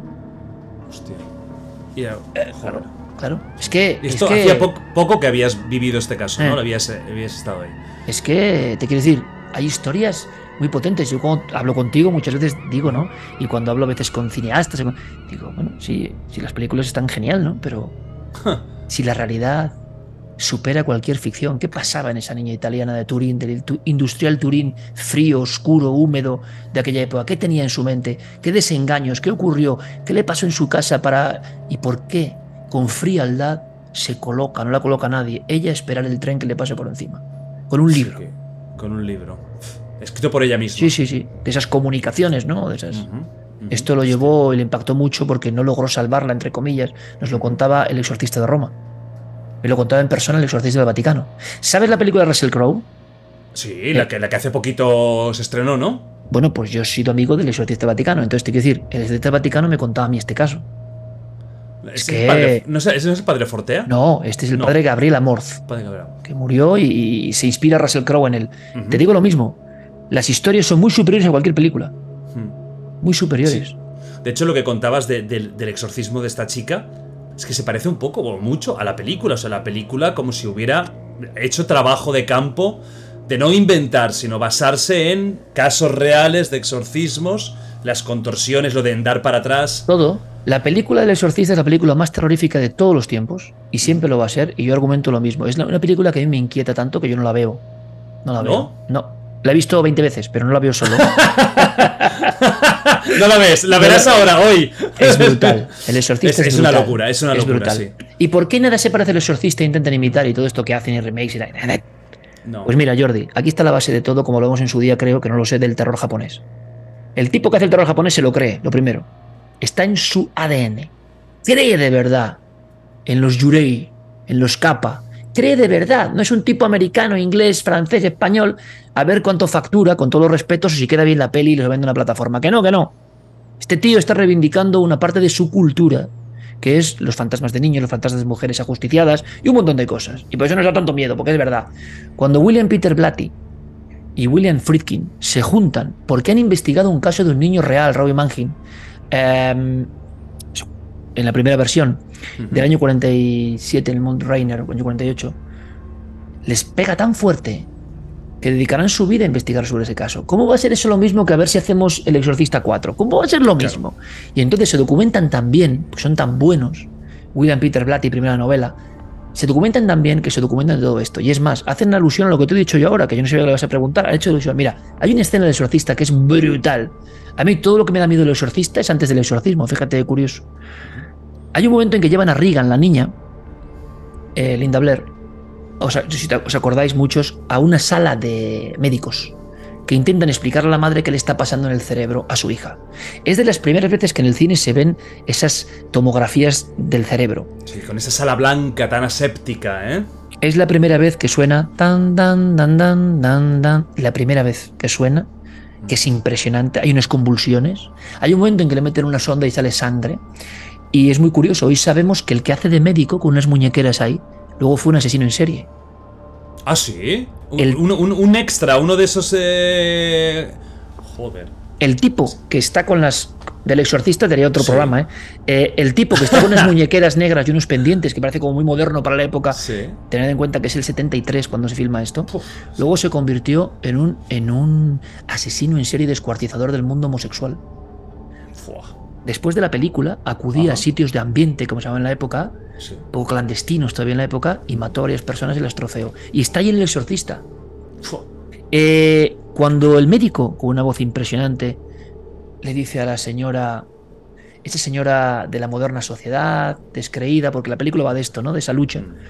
y le dice, mire usted, lo que le pasa a su hija es propio de las culturas muy primitivas. Está contando eso, suena Mike Oldfield, y esa escena está sacada de lo que te he contado antes. Charcot identifica que está viendo en gente de la sociedad burguesa unos comportamientos solo posibles en la cultura zombie, en el vudú, en, la macumba, en el candomblé. Eh, no tienen nada que ver. Y sin embargo, en esa expresión tribal está saliendo ese, ser humano antiguo. Eso, claro, Peter Blatty y, y Friedkin es que lo bordan. Todo el exorcista es una obra maestra del esoterismo. Todo. Todo. Y, luego lo que, lo que pasa a posteriori, ¿no? Que también es una película con mucho con un manto de misterio muy importante, ¿no? De cosas que pasaron después, de, la, de, la, de, la, presentación de la película, qué, pasa con los actores. Sí, sí, y, mucho más allá de lo que se ha contado. Mira, esto hizo Carmen hace muchísimos años un libro, se llama Misterios de la Iglesia, y se, afanó en. Nunca hemos podido hacer ese especial, pues por cosas de la Warner, no entiendo, derechos, cosas, ¿no?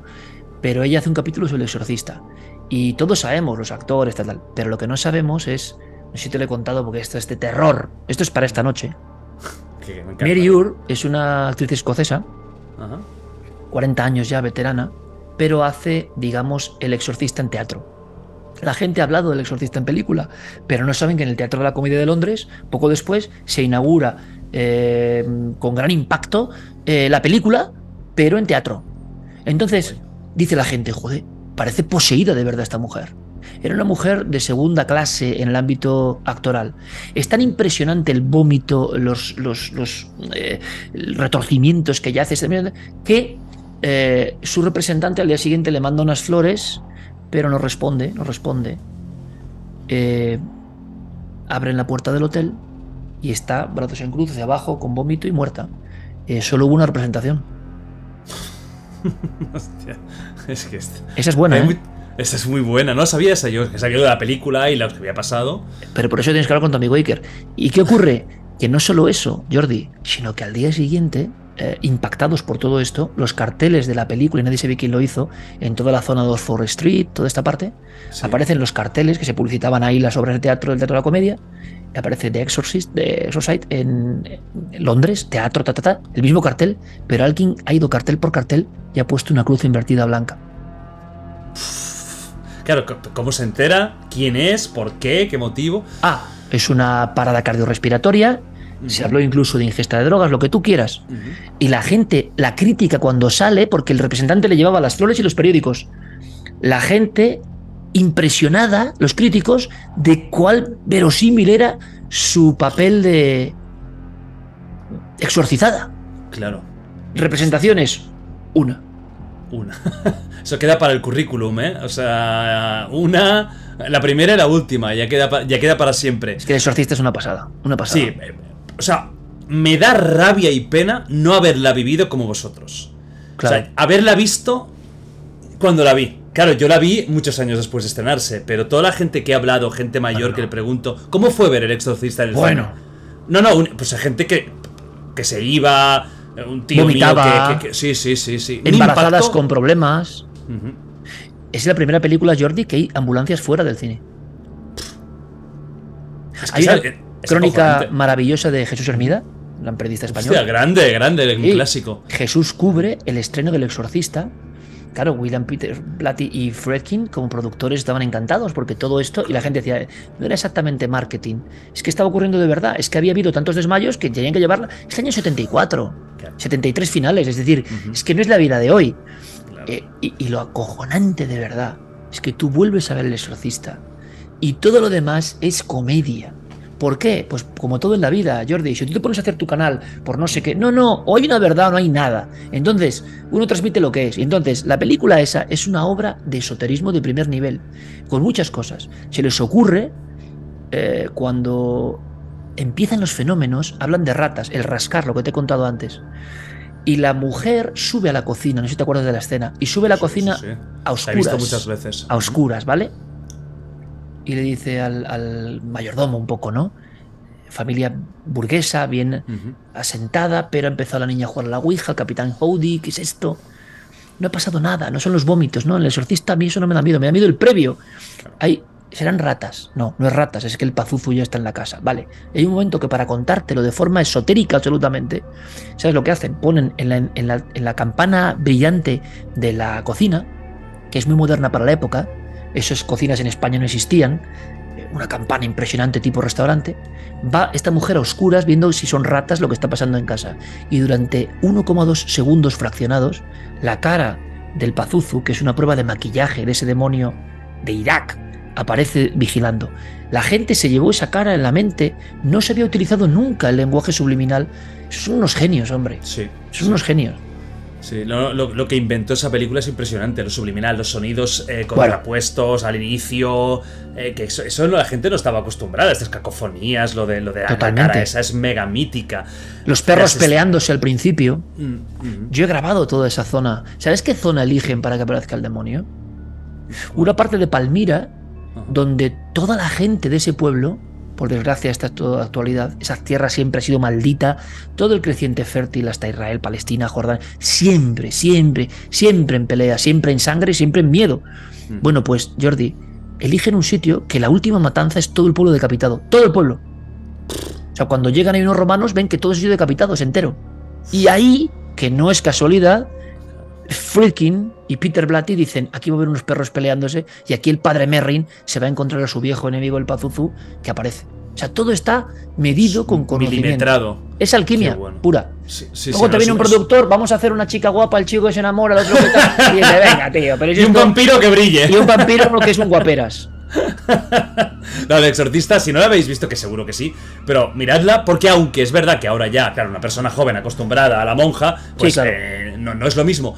Pero de verdad, aún a día de hoy asusta, ¿eh? Yo conozco gente que la ha visto. mucho, mucho, hombre, es que no hay color, o sea, es otro mundo. Mira, ahora que estamos con esto, hablamos de tema de posesiones, del demonio, de Pasusu.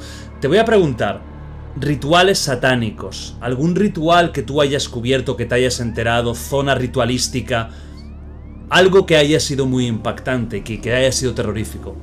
Hombre, yo entiendo que hablo contigo como amigo y para todos, para la gente puede decir, pero este de qué va, pero yo te quiero decir dos cosas, para aquellos que no me conozcan, ¿no?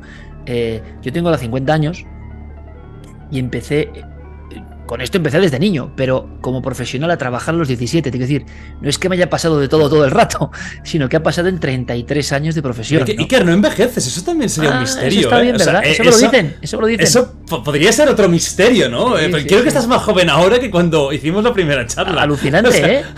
Alucinante, sí, sí. ¿Qué está pasando aquí? Pero tengo un truco que te contaré. El cóctel milenario, un día te lo cuento, me lo dejo Hostia, bueno, el otro, a saber lo que llevaba eso entonces. Que, o sea, Jordi Hurtado, tú eh, y Dragó lo tomabais. No me lo dice mucha gente, pero Dragó yo desde luego. Eh, me dijo, vas a comer 40, déjate de y toma esto, todo natural, ¿eh? todo natural. Un día, un día lo hacemos, un día, un día lo hacemos juntos, Jordi y Iker. nos forramos, Jordi. Sí, el cóctel milenario, wild. Exactamente. Para mantenerse joven. Está, macho, te traes un pintón. Está bien, está bien, aún me aguanto. Oye, pues eso te lo diré si quieres, porque es una cosa que vamos a rajatabla, de, bueno, es una serie de cosas, puro ah, herbolario, ¿eh? Puro herbolario, pero una conjunción de cosas. Hombre, si, es de, si esto sale de Dragó, te digo yo que salgo volando. Seguro. O sea. Es Red Bull auténtico. Red Bull de verdad. Bueno, Red Bull sale de la herboristería tailandesa. No, no, esto, y todo es todo, esto es todo cosa japonesa y cosas tal. Pero muy normal, ¿eh? No, no, eh. pero yo se lo recomiendo a todos mis amigos. Se lo recomiendo a todos mis amigos porque digo, oye, tío, hay que cuidarse, hay que tener energía, y que tal. Todo natural, ¿eh? Nada químico. Pero bueno, ¿Y qué te iba a decir? Te estaba contando. Sí, los, rituales, ¿no? Bueno, la gente, que la gente no se ah, sorprende cuentas tantas cosas. 33 años y yo. Claro. o sea, no hago ese tipo de entrevistas, ¿sabes? Que. No sé, solo lo hago contigo y alguna cosa más, pero que puede quedar como, joder, macho, te ha pasado de todo.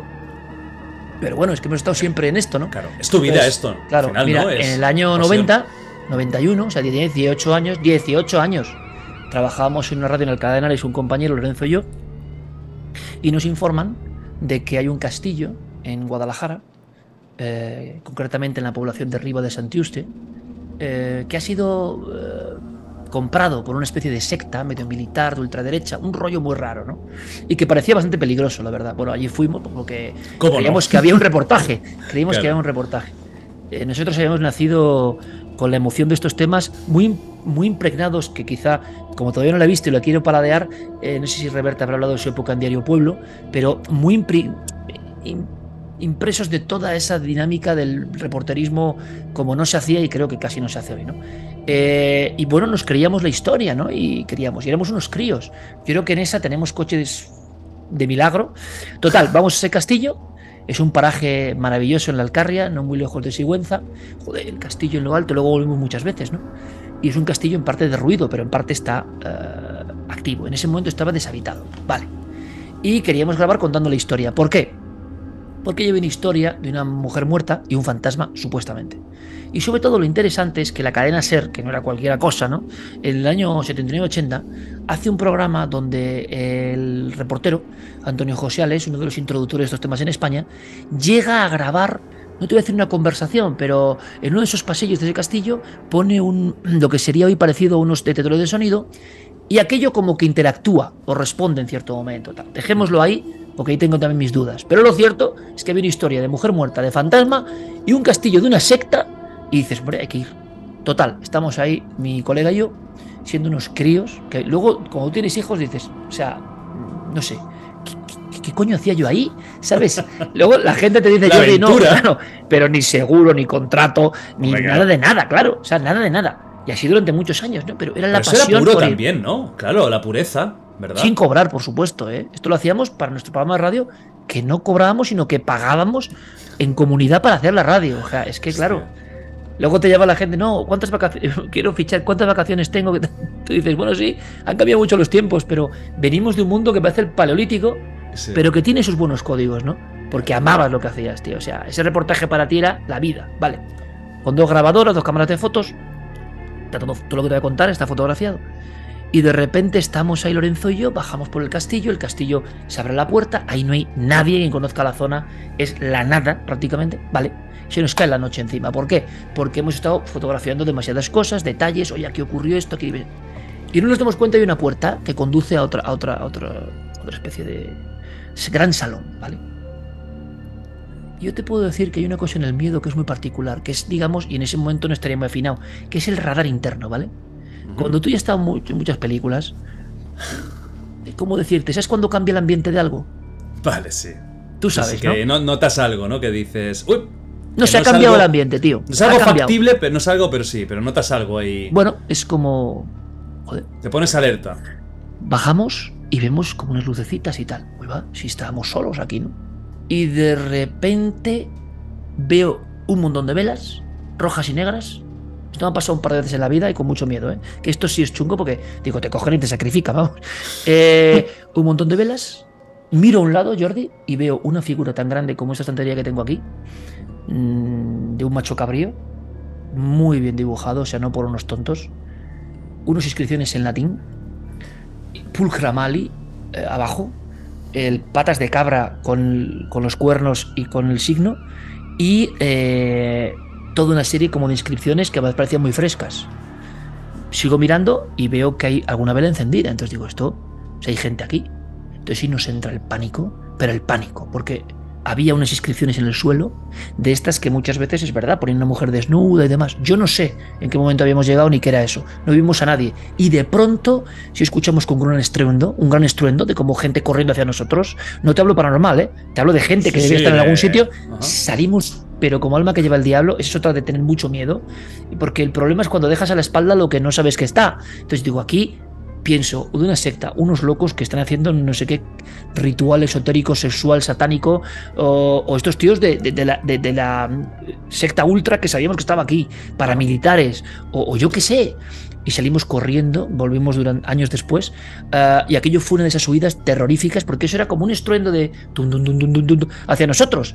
Y mi amigo y yo dijimos, bueno, o sea, aquí nos van a pillar de verdad, porque aquí había velas y ritos, y eh, te guardo las fotografías. Em, conocimiento, conocimiento. Es decir, no era 666, la cruz invertida, no, no. No, no era niñatos. Satanismo de litrona, ese no. Eso era, eso era gente que sabía lo que hacía y que había elegido ese lugar. Eso me pasó una segunda vez, más terrorífica todavía, en un pueblo abandonado, en el condado de Treviño, que yo estaba filmando solo, con lo que era una novedad entonces, que era una Naisot. Eh, y, No, perdón, perdón, me equivoco. Luego es que volví con la Naisot, pero ah. la vez que me encuentro esto es el 95, año 95. Es un día de Navidad y, yo me adentro. ¿25? 25 con mi familia esperando en Vitoria en la mesa. no me lo puedo creer. Hostia, la pasión, ¿eh? no, oye, el 25. y la familia ahí comiendo. Te sacaría ahora, te sacaría ahora, pero si no igual. En la foto de mi primer libro que hago en mi vida, que fue un bestseller inesperado, en una editorial pequeña. Se llamaba Enigma sin resolver. Bueno, pues la portada de ese libro, que es una torre y un árbol viejo cayendo la noche, es esa noche. Es esa noche, lo hiciste ahí. Yo llevo una vieja cámara Nikon N50, voy con mi bolsa y creo que llevaré un par de horas, ¿no? Eh, fotografía en el pueblo muerto y tal, donde hay tantas leyendas de apariciones, por cierto, de muerte, de tal. Vale. Eh, y cuando llego, bueno, hay un momento que es tremendo, que es que me tropiezo, había que saltar una verja de espino, me tropiezo y me caigo al barro. Y cuando estoy con la bota enganchada, la cara en el barro, la cámara por ahí, y es día de Navidad y mi familia está esperando en la mesa, yo digo, ¿qué, qué, hago yo aquí? ¿No? Es decir, qué absurdo de vida es esto, ¿no? Me he equivocado en Me he equivocado. Yo buscando unas tumbas de niños, ¿no? Buscando unas tumbas de niños en piedra antigua que hay allí. Solo como la una ahí, ¿no? Solo como la una. Bueno, pues cuando subo a la ermita de ese pueblo abandonado, donde hubo una luz que cayó, una señora de negro que apareció, en fin, todo lo que te puedas imaginar. Macho, es de noche y otra vez el tintineo de una... Y esto te lo digo que lo digo con miedo. Porque es un miedo a lo raro, pero que haya alguien más raro, ¿no? Mm. Y cuando tú no has visto a nadie en ningún momento y has estado merodeando por ahí en la absoluta soledad de un campo donde no hay ni urbe ni pueblo ni nada, es un descampado, es un, la nada en el condado de Treviño, yo giro y veo que tintinea la luz en una especie de bóveda. Y ya dices, uy, ¿quién hay aquí conmigo? Me aproximo un poco, ahí sí con la linterna, y entonces veo varias velas rojas y negras que aún están encendidas. Y que no son velas de iglesia y no va nadie. Y un par de inscripciones. Hay gente haciendo ritos. Esto ha pasado muchas veces. Gente que acude a sitios que saben que son de crimen, de terror, de tal. Una especie de turismo macabro brujeril. Y yo me lo encuentro ahí y me quedan tres kilómetros andando para volver a la carretera donde he dejado el coche, porque no puedes llegar en coche. Y entonces si te entra el pánico de decir, ostras, aquí me van a pillar y yo qué sé. O sea, es decir, y eso me ocurrió en ese sitio, que son dos sitios que recuerdo muy bien de, digamos, eh, ritus interruptus, ¿no? De llegar cuando había gente y además me imaginé esa gente agazapada, como lo que te he contado antes. Claro. Porque sin duda esa gente, si estaba, que estaba, me estaba viendo, ¿no? Claro. En ninguno de los dos casos llegaste a ver a nadie por eso, solo los escuchaste. No, no, no. E, escuché en Guadalajara esos, esos sonidos de como en tromba de venir a por ti, en la madera del suelo viejo, pero no vimos nada. Y en, este pueblo del condado de Treviño, nada. Pero era mucho más alejado y estaba solo. ¿eh? Cuando vas con un compañero es otra cosa. no estás solo del todo. Solo eh, lo he vivido muchas veces, es terrible. Solo tienes que andar muy frío porque es muy fácil que te despeñes, te caigas, te rompa. Imagínate, te rompes un tobillo en eso que te he contado del espino. Mm. Ahí estado haciendo un rito. Hay mucha gente que no se sabe, pero que acude todavía a Camposantos y a lugares. a, a día de hoy aún. Y en estas noches especialmente. Ajá. Sí, en noches señaladas, cristianas, noches de, reunión. Son días señalados para ellos también, satanistas y todo eso, ¿no? Claro. ¿Aún hay por eso en España, tú crees, satanismo, gente que se reúne o está ya está de bajada? ¿Crees que aún hay gente que lo vive? Yo creo que, que no hay tanta gente que lo vive. Yo creo que esto ha sido una especie también de llamada para muchos sinvergüenza que buscaba otro tipo de satisfacciones sexuales, Eh, mira, hay una dinámica que yo sí me sorprende mucho, ¿no? Tú me conoces un poco, yo llevo toda la vida en esto, jamás me habrás oído decir esto es así o yo sé. Es decir, yo soy un ignorante como cualquiera. Esta es mi curiosidad, soy un periodista de sucesos que le gustan estas cosas. Huye como el alma que lleva el diablo cuando alguien te diga que es profesor de esto. Mi opinión sincera, ¿eh? Huye cuando te venga el experto en esto. Huye cuando te venga el parapsicólogo. Huye cuando te venga el, ¿sabes?, la autoridad académica. Porque no es verdad porque no es verdad. Entonces, habitualmente esas patinas de cosas son para aprovecharse. Y lo que sí he visto mucho tiempo es gente que quería acostarse con señoritas o con señoritos, gente que quería, mm, eh, en esta especie de aura de eres el elegido, lo esotérico, para gente que tiene problemas o vacíos es muy fácil, es la mecánica de las sectas, que es otro campo, ¿no? Y, y, se aprovechan. Y es que además la gente entra en ello, que es muy curioso como mucha gente que tú ves, dices, esta chica tan guapa, este chico tan... ¿Qué, demonios pinta, nunca mejor dicho, en un rollo de estos? Y es pues porque hay otras, mm, ¿cómo decirte? Ah, no hay seguridad, no hay confianza, lo que sea, y viene alguien a decirles la verdad. Porque el problema es que la gente, y en estos temas especialmente también, quiere alguien que les diga la verdad. Oiga, no me vengas a mí con dudas, Iker. Tú dime cuál es la verdad, ¿y qué tengo que creer yo? Pues no es verdad, yo nunca he sido así y, y, es más, cada vez soy más receloso si, no, si desconocemos casi todo, ¿a qué me vienes tú de profesor de qué? Profesor de física cuántica, sí, y en el tiempo cambian, o sea que imagínate en estos temas. Todo lo que he visto, casi todo lo que he visto de esta gente es eh, intento de aprovechar y a veces con actitudes de aprovecharse de la gente en los aspectos más, más bajos, ¿no? Mm, más materiales, ¿no? De querer, incluso de poder, entiendo, ¿no? Claro, de claro, a un grupo de gente y hacer un poco como una secta, vamos. Totalmente. Y eso sí que existe. Eso sí que existe. ¿Hay algún culto en la historia de España que haya sido muy importante, culto satánico, culto que juegue con los demonios, aunque ahora ya no existe, del que haya habido una buena documentación, del que se sepa que realmente eran gente que intentaban combinar con estas fuerzas. Sí, efectivamente, es decir, una cosa es que haya poca gente, que no digo que no haya, que haya gente, algunos que lo creen, sí que hay más, el ámbito satánico es como más eh, esto que te he contado, ¿no? Aprovecharse, eh, hacen ahí sus cosas delante de la misa negra, vamos a ponernos aquí a fornicar eh, delante de... No sé, no hay mucho condimento ahí de conocimiento. Luego está el tema luciferino, que es otro tema muy diferente, que son los que se han aproximado a las áreas oscuras conociendo. Y eso es diferente. Te cuento una cosa que no sabe nadie. Hace, no sé, un mes, ¿vale? En una población de Castilla-La Mancha, Ciudad Real, nos avisan, porque estábamos ahí haciendo otra cosa, y me muestran el templo masónico oscuro más raro que yo he visto en mi vida, Jordi. Yo me quedé así, o sea, no me lo puedo creer. ¿Por qué? Quitando el papel, el papel pintado de una casa palaciega, se dan cuenta de que el papel pintado durante años era una especie de, de forma de esconder. Y ahí salen las columnas, los demonios, las figuras del siglo XIX, principios del XX. Y cada habitación, que era una habitación tras habitación, tú veías una perspectiva, había una cara de un gato que daba un miedo espantoso, un gato humanizado, te miraba, es un código esotérico. Y entonces los iniciados o iniciandos, como se decía, van pasando habitación por habitación por diferentes tipos de ritos y se sabe. Bueno, pues eso estaba en pleno centro de un lugar muy célebre en Castilla-La Mancha. Encuentran además cadáveres de neonatos, es decir, y esto está pasando ahora. Eh, España tiene mucha historia real de sectas, pseudosectas, criptogrupos, eh, la Garduña, eh, la secta Toro, la secta Toro, nacida, aunque eso nunca se podrá saber, pero nacida en la provincia de Zamora, eh, hace rituales y sacrificios y se convierte en un peligro. En Levante hay varias que se convierten en un peligro, donde incluso de alguna manera asfixian a alguna gente. Bien, pero son corpúsculos, cosas muy sueltas, ¿no? Que había un conocimiento, desde luego. Yo la historia de este nivel que más me ha impactado es una de un viejo comprador de libros, porque me he ido encontrando sus libros en libros que yo he comprado después y me he encontrado su firma y su sello. El típico experto de estos temas que acabó suicidándose, pues porque todos los que se han metido, ¿cómo decirte?, muy a fondo, no todos, pero muchos, te diré, Jordi, que hay una cosa que sí da miedo, cómo acaban siendo como un poco poseídos, lo que hablábamos antes, por el propio fenómeno. En el tema del satanismo esto existe, y en el tema este de las voces, sin rostro, psicofonías. Yo he conocido mucha gente que ha acabado fuera de sus cabales, fuera de sus cabales, casi dominados por este fenómeno y, enganchados a este fenómeno totalmente, ¿no? Y con finales dramáticos. Entonces, no es que la causa extraña genere eso, sino que tú te has metido tan al fondo en esos infiernos que no sales, ¿no? Son muy enganchantes.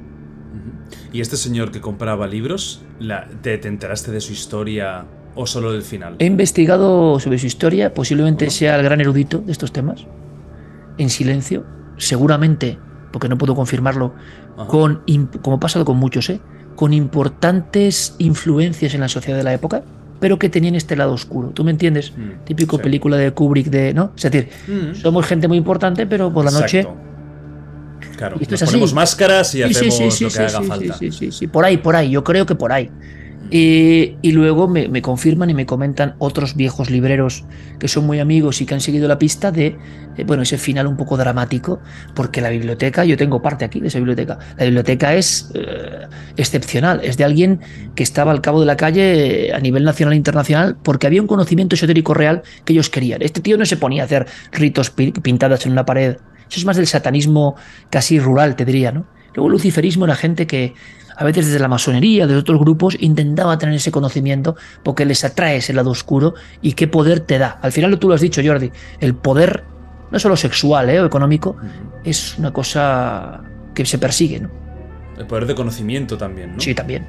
También. Que para muchos de ellos era importante el conocer, el saber, el poder llegar más lejos, alargar su vida. Distinguirse un poco de los demás, de la plebe, ¿no? Para ellos. es decir, yo tengo, mira, ha habido una... Eh, desde los griegos, ¿eh? desde siempre realmente, pero sobre todo los griegos, decían que había que ver la muerte antes de morir, ¿no? Esto era su lema absoluto. Yo he rodado muchos templos de este tipo. Este verano he estado en varios eh, mira, esto lo sacaré creo que el domingo que viene.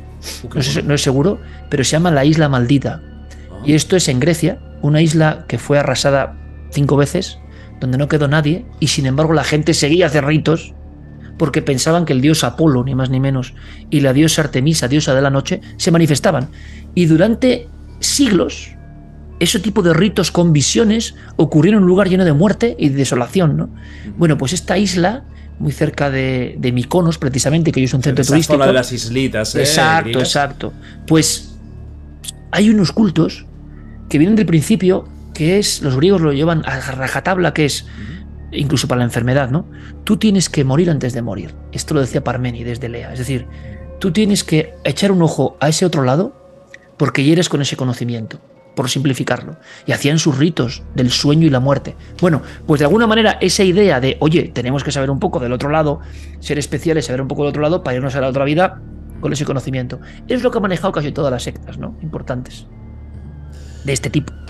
De este tipo, ¿no? Más de, conocimiento Eso oculto. Em, yendo al tema fantasmal, de espíritus, puramente el clásico, ¿no? De toda la vida. ¿Hay algún caso de fantasmas que te haya chocado especialmente, que te haya incluso perturbado, que, que te haya dejado intranquilo más de lo normal? Bueno, hay muchos, no sé si te lo he contado, pero alguna vez investigando, por ejemplo, el caso de un crimen de una mujer, yo de verdad casi veía a esa mujer en mi casa, ¿no? Esto es lo peor. Cuando tú lo llevas, lo llevas no te despegas, no te despegas y pasas miedo. Yo he pasado miedo en mi casa. Sé que no hay nada, pero era tal la obsesión que veías un poco. Yo no sé si te lo conté, eh, Jordi, pero hay una vez en el cementerio en Lérida que, mm, siguiendo la historia de dos niños que se mataron con el tema del espiritismo, que casi veo flotando sus caras, ¿no? En mitad del campo santo, que me quedé ahí una noche encerrado y, veía casi en su sepulcro la, es decir, era tal la cantidad de, potencia que llevabas de estos temas, pero ha habido casos tan absolutamente increíbles que tú dices, y, constantemente, ¿eh? constantemente. Uno de los últimos, fíjate, es en Toledo. Claro, Toledo, tú excavas y sale un fantasma y una piedra, o sea, es que... Toledo es, arqueología, pero del día a día, ¿no? De, la calle. Precioso. Hay una buenísima, buenísima, buenísima en Toledo. Mira, una es muy corta, pero joder, cuando me la cuentan en el lugar de los hechos, el gran historiador Luis Rodríguez de Pausa, digo, hostia, le digo, coño, te conozco de 30 años y me has asustado. no, sé, no sé si sé contártela exactamente, hay dos, ¿eh? pero no sé si sé contártela exactamente, pero es que era muy buena, muy buena. Eh, está un chico en una casa en Toledo, y imagínate que me cuentan esto en la cueva de Toledo donde pasa, ¿vale? Ah, ahí, ¿eh? Claro. Las cuevas de Toledo son muy célebres, comunican, y había muchas sectas y grupos, todo Toledo por dentro, como pasa en otras ciudades, eran como vías de escape para ciertos momentos, y son lugares, son un, son un metro subterráneo acojonante. Bueno, En una casa que en una placita de Toledo, hace así esquina, le estoy viendo ahora mismo, está un, un- un chico que ha vuelto, creo que de Zaragoza, o bueno, tiene negocios allí, y vuelve a ver a su mamá. Y la mamá está preparando la comida.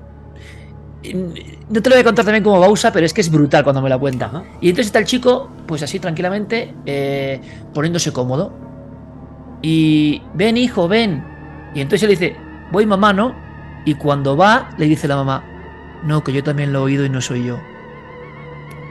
Hostia. Y estaban solos en casa, ¿me entiendes? Como una voz parecida a la madre, Vale. dice, ven, hijo, ven. Y el, y el tío va y la madre le para y le dice, hijo, no vayas, que también lo he oído y no soy yo. Hostia. Esa es buenísima. O sea, es muy buena. Para cagarse. Por ahora gente que te lo cuenta, el historiador que ha recogido el testimonio en lugar de los hechos. Son pequeños lujos que yo tengo, ¿no? O sea, yo ah, dije, claro. "Hostia", o sea, impresionante, tío. Dije, Claro. y, y es, do- es 12 segundos de historia. Sí, sí. Esa historia bien contada, no hay película. O sea, la madre normal y corriente como cualquiera de nuestras madres Sí, sí. y el hijo que dicen, coño, que acá, qué bucle acaba de pasar en casa. Claro. Y los dos son miradas, conscientes a, a la vez. está. Sí. Claro. No muy lejos de allí, no muy lejos de allí. Jordi, no muy lejos, hay una casa que, que- es que esta es brutal, que cogen una, una arqueóloga y otra persona y están de mudanza. Estos casos de fantasmas clásicos están asociados muchas veces a las obras, las mudanzas. Es decir, Ajá, un sí. territorio viejo que Sí. tú, por lo que sea, has remozado, has cambiado. Total, casi las primeras noches la chica tiene que teletrabajar, o sea, te habló hace muy poco tiempo, y se pone el... Esto conozco dos casos parecidos, ¿eh? Bueno, hay varios ruidos. Joder, hay varios ruidos. No dejan dormir, tienen dos chiquillas, están un poco intranquilos, ruidos de qué, como siempre, como el exorcista, de ratas, de qué. Y vienen de una bordilla, de una especie de, no de chimenea, sino de conducto de la tubería. "Ah, claro, las tuberías hacen ruidos raros. Vale. Un día está teletrabajando y cuando está teletrabajando, la persona que está hablando con ella en esa buhardilla le dice, ¿está tu hija despierta? No. Las niñas estaban dormidas. Pero detrás de la imagen, la persona como tú y yo ahora, que daba hacia la oscuridad de esa buhardilla, veía una niña que se había asomado. Y además una niña como con un traje de comunión, algo así. ¿no? Tú imagínate esta mujer cuando el que está, su jefe, le dice, ah, ¿está tu hija despierta a estas horas? ¿Te imaginas el escalofrío de saber que tu hija lleva dormida en otra planta mucho tiempo? Y que es más, eh, lleva como un traje abombado, no sé. Ajá. Esta historia acaba con un equipo de arqueólogos, porque hay esas conexiones familiares, abriendo el, esa especie de tubo que guardaba la tubería. Y había tubería, pero además había varios cadáveres de niños. Hostia. Sí, sí, sí, sí. Del 10 siglo XVII-XVIII. Guau. Que váyase usted por qué motivo estaban pegados a la tobera del agua. Y allí llevarían cientos de años, varios, tres, por lo menos 300. La gente consumiendo el agua y tal no sabían nada. Y todos los sonidos que ellos percibían, familia entera, cuatro miembros, eran de ahí. Cuando abren, se lo encuentran. Y esto se hace muy poco. Wow. Es que, fíjate que incluso en estos casos ahora ya la tecnología, ¿no? Eh, eh, se une al misticismo porque era una, era una videollamada, ¿no? Una videollamada como podemos tener tú y yo, vía Ahora lo que mismo. fuera. Y de repente veo yo una niña por detrás, digo, oye, ¿qué pasa? En aquí?". ese ventanal de ahí, sí. Tú fíjate, eh, esto lo conocí yo por una editora de Barcelona. Ajá, El primer caso que conocí de este tipo. Pues claro, son tecnologías nuevas que entran, ¿no? claro. Y entonces está ah, esta editora, también, fíjate curioso, creo que en un proceso de Casa Nueva en Madrid, entorno que no conoces, primeras videollamadas, ¿eh? no sé qué programa sería, no, te hablo de hace Skype, exacto, seguramente, 10 o 15 ¿no? años, y, y le dice eh, alguien a esta chica editora, ay, qué guay, veo que te has ido con Clarita, con tu sobrina a casa. Está sola. ¿Cómo? le, le di- Claro. le dieron una alegría, ¿eh? Dice, ¿cómo? No, que ha pasado tu sobrina por detrás, ¿no? ¿Cómo te quedas? Hombre, a ver, no, no haría gracia. Joder, Esto es nos pasó, por ejemplo, en Cuarto Milenio, que daba mucho miedo a la gente, sobre todo los que eran padres primerizos y tal, con todo el tema de los vigilabebés, claro. Ah, claro. Las, las, eh, las Bueno, que se escuchen cosas o se vean, ¿no? Hombre, pero tú imagínate, casos terroríficos hemos contado. Tú imagínate una familia, además tienes un- eh, todo el mundo no tenso, el niño, nada. Y de repente está viendo a la madre en la cocina, una casa normal y corriente, en Colmenar Viejo. Joder, y ve junto a la cuna una anciana mirando. Pero una anciana, anciana. Eh, encorvada, mirando a la niña como riendo. Va corriendo, o sea, se ha colado alguien, va a secuestrar a mi hija. Sube, no hay nadie. Y al día siguiente, a los dos días, solo la risa. Alguien se ríe en el cuarto de la niña. A los cuatro o cinco días, esa niñica, bebé, hablando con alguien en la oscuridad del mismo sitio de la anciana, macho. Hasta que no pueden más y, y nos llaman con un ataque de pánico absoluto. Tiraron, el, tiraron a la basura el vigila bebés. ¿De dónde eran? Colmenar Viejo. Colmenar Viejo. Con la Sierra de Madrid. ¿Qué pasó algo más? Una vez os llaman y todo. No, realmente la investigación allí, lo que. Eh, bueno, un lugar. Ahí no supimos más que toda la familia había compartido eso y que la pena de esto en concreto es no poder recuperar la imagen, pero es que si tú ves la mujer, y yo creo que hablamos con ella meses después, ¿eh? lo que te contaba al principio, Jordi, era tal la huella mental de la mujer, una mujer tipo bruja de Goya, una mujer anciana que pensaban que era una mujer, no, pensaban que era un tío embozado, un tío que había entrado por la ventana con una capa, pero cuando se fijan es como una mujer anciana, como mirando con envidia a la niña. Las sonrisas, lo sí, sí, sí, sí, sí, sí. O sea, pone la piel de gallina. No, no es que eso fue así. Y, y, cuando sacamos ese caso, Jordi, empezamos a recibir un montón de casos de gente que con los vigilabebés le había pasado. Presentes al lado de la cuna, otro niño, o sea, un niño tumbado y de repente otro niño mirando. Un niño pequeño en pijama mirando por la cuna, tío. ¿Qué es? ¿Qué no es? No lo sé, pero abrimos la espita de algo que estaba. Es decir, la tecnología llega y antes fueron las psicofonías, luego fue, bueno, pues va avanzando. Este lo que sea que no sé qué es, se manifiesta y produce mucho impacto. Tú ten en cuenta que los padres de la psicofonía, que tú conocerás la historia, ten en cuenta que nadie sabe nada. Bueno, hay un tío que graba chamanes en 1901 que está grabando, ¿sabes los chamanes de Siberia que dan un miedo acojonante, con máscaras, con tal, para tratar la enfermedad, lo mismo que contábamos antes? Y él pone unos discos de pizarra, tú fíjate lo que te digo, discos de pizarra, y como empezábamos esta noche, graba unos cánticos que no se han producido ni están.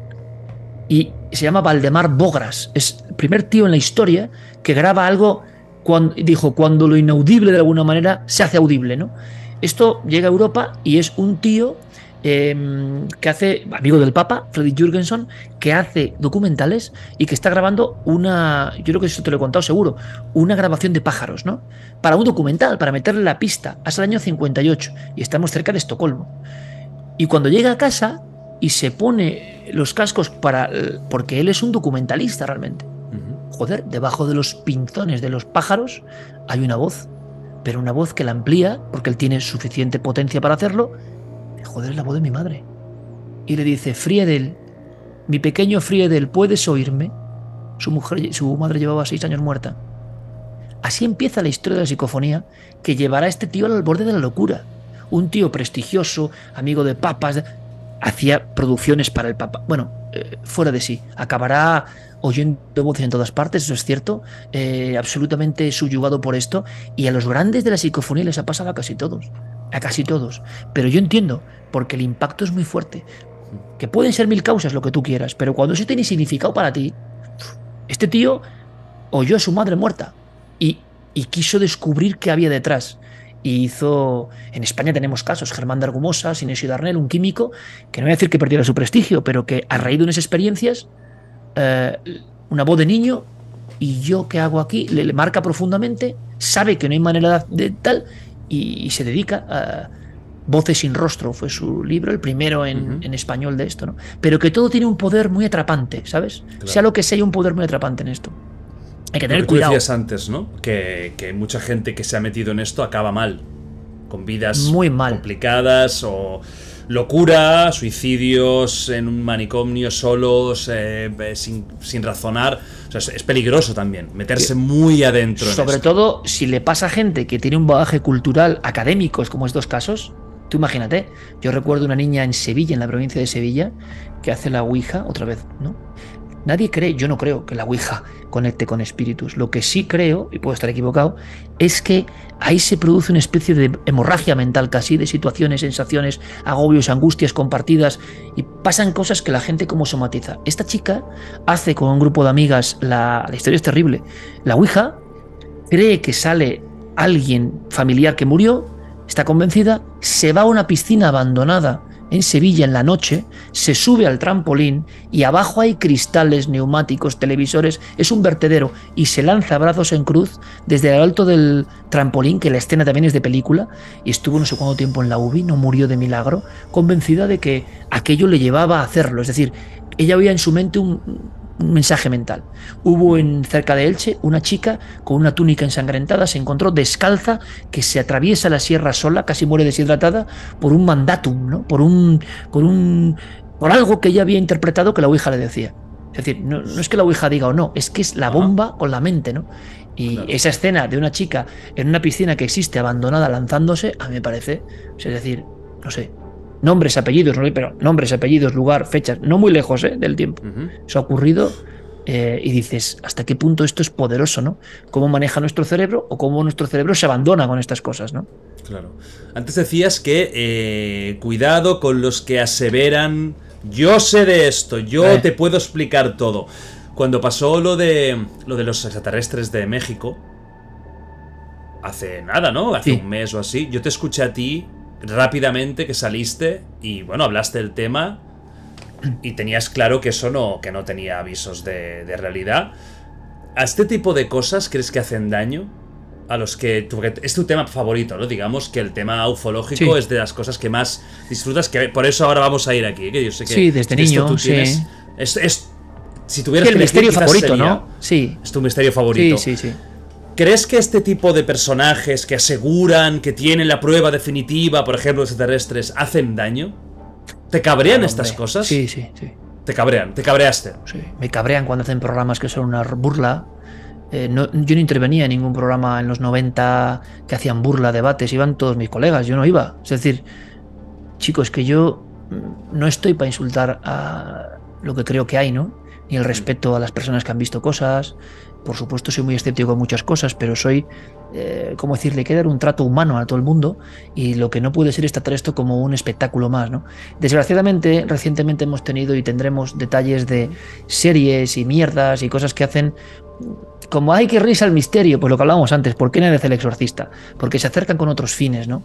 He conocido mucha gente de equipos que ha hecho trampas, que, que truca, que metemos una voz aquí. Estos programas de Estados Unidos de cazadores de fantasmas, todo Ah, esto, bueno, hombre, que esto es una basura. Es decir, vamos a ver, que yo no le quito como espectáculo, pero si usted se lo va a creer, claro, eh, yo no tengo nada que ver. Yo personalmente es que quiero saber de verdad y quiero estar ahí para aprender de verdad, porque es mi vida esto. Entonces, mm, ¿cómo me voy a engañar a mí mismo? Es que sería un poco absurdo, ¿no?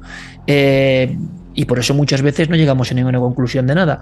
Pero es que es increíble la fauna que hay, ¿no? Y cómo la tele especialmente eh, siempre acude de nuevo a hacer el gilipollas con estos temas, como si, ala, oye, yo digo, oye, hazlo con la política, tío, que da más risa, hazlo con...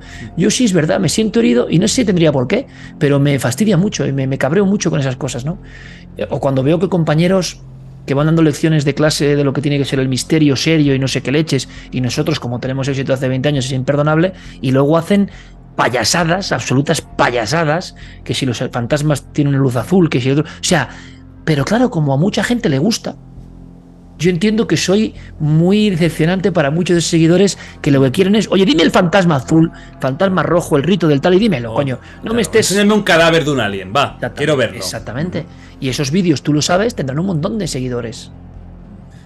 Claro. Y es una pena, porque no tiene nada que ver. Mira, nosotros dentro de un par de semanas, Jordi, sacamos la historia del ser de Atacama, que se guarda en Barcelona, España, que ha sido examinado por un montón de personas y que siendo un cadáver humano, tiene un misterio acojonante porque parece un extraterrestre y hay que explicar por qué. Y ha habido un montón de investigaciones. Mucho más interesante que la tontería de unas de unos palos colocados como huesos. Es que es increíble. Bueno, pues hay gente que entra en esto. Y que además, a mí, por ejemplo, en México, yo lo entiendo, ¿eh? Me criticaban, eh, vas en contra de México. Yo que hubiera en contra de México. Lo que no quiero es que os tomen el pelo tampoco. Y es más, puede que honestamente alguien se crea eso, Mausano quien sea, eh, gente mucha ingenuidad, porque en cuanto investigas con forenses ves que eso no es así. Mi mensaje sería, hay tantas cosas alucinantemente increíbles, reales, que por qué te vas a ir a, falsificar o por qué te vas a ir a... Hace mucho daño, Jordi, hace mucho daño, porque yo me doy cuenta que, por ejemplo, en España, hablo de España sobre todo, aunque sé que hay mucho seguimiento en América, yo creo que estos 20 años de cuarto milenio, por ejemplo, o los 15 años de la SER, han servido para que estos temas sean una parte del periodismo más, eh, con honestidad, eh, buscando, porque luego hay muchas claves de aprendizaje para que te vengan de nuevo como en los 90, ¿no? Como, claro, que no saben, que es que no saben. Le encargan a un presentador, a un productor o tal, misterio, para ver si hace algo, a ver si hace audiencia, a ver si tal. Y no tienen ni puta idea, no saben, ni se han enterado nunca, ni han querido saber. Es lo mismo que te digo, vamos a hacer una de terror a ver si da susto. No, no, el susto quedará de verdad cuando, cuando tú vayas de verdad a algo auténtico, ¿no? Y bueno, esa es una batalla que yo creo que siempre va a estar ahí, ¿no? Pero creo que también por fortuna la gente yo por lo menos lo que percibo, ¿no? Es que valora mucho lo que hemos hecho en estos años y, es que veníamos de una situación muy mala, ¿no? De, crónicas marcianas, de moros y cristianos, de los debates de Urusolo, que yo los he vivido em, riéndose de esto, ¿no? Como si fuera...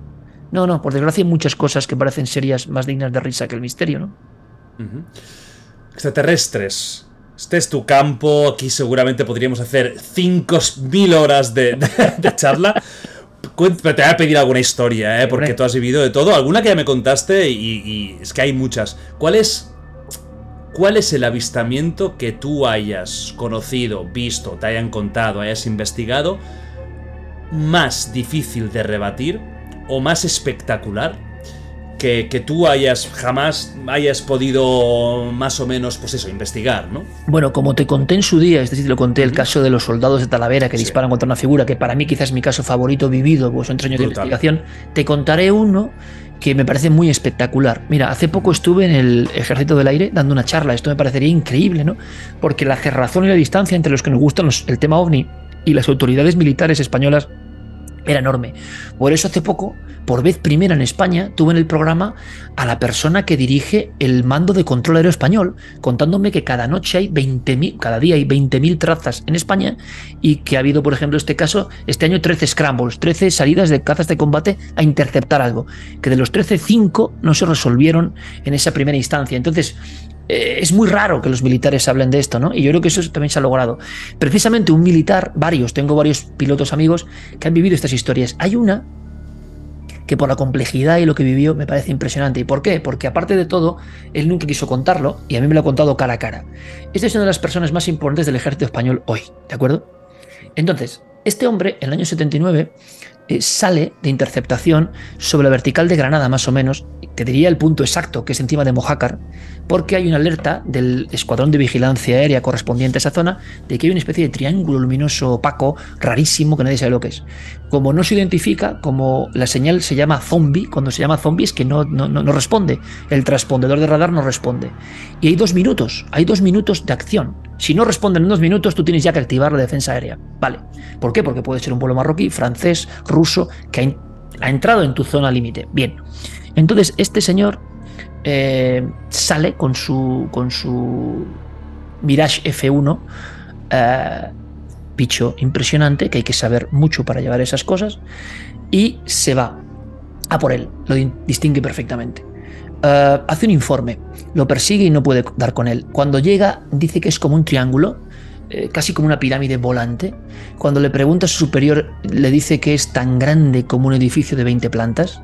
Eh, que está ahí rotando sobre sí mismo y que nunca ha visto algo así, y que además se va alejando dejándole a él sin posibilidad, yendo a una velocidad de marcha impresionante. Lo más increíble es que cuando está enfocándole, él siente, como otros casos con el famoso de Manises, que ese objeto está disparando todas las alarmas internas del caza porque le está bloqueando, es decir, le está poniendo en su punto de mira. Pero lo más alucinante, y está en el informe del Ministerio de Defensa, de esto que os cuento, está en un archivo en Moncloa, en Madrid, eh, lo he publicado, Ministerio de Defensa, Ejército del Aire, y está la conversación.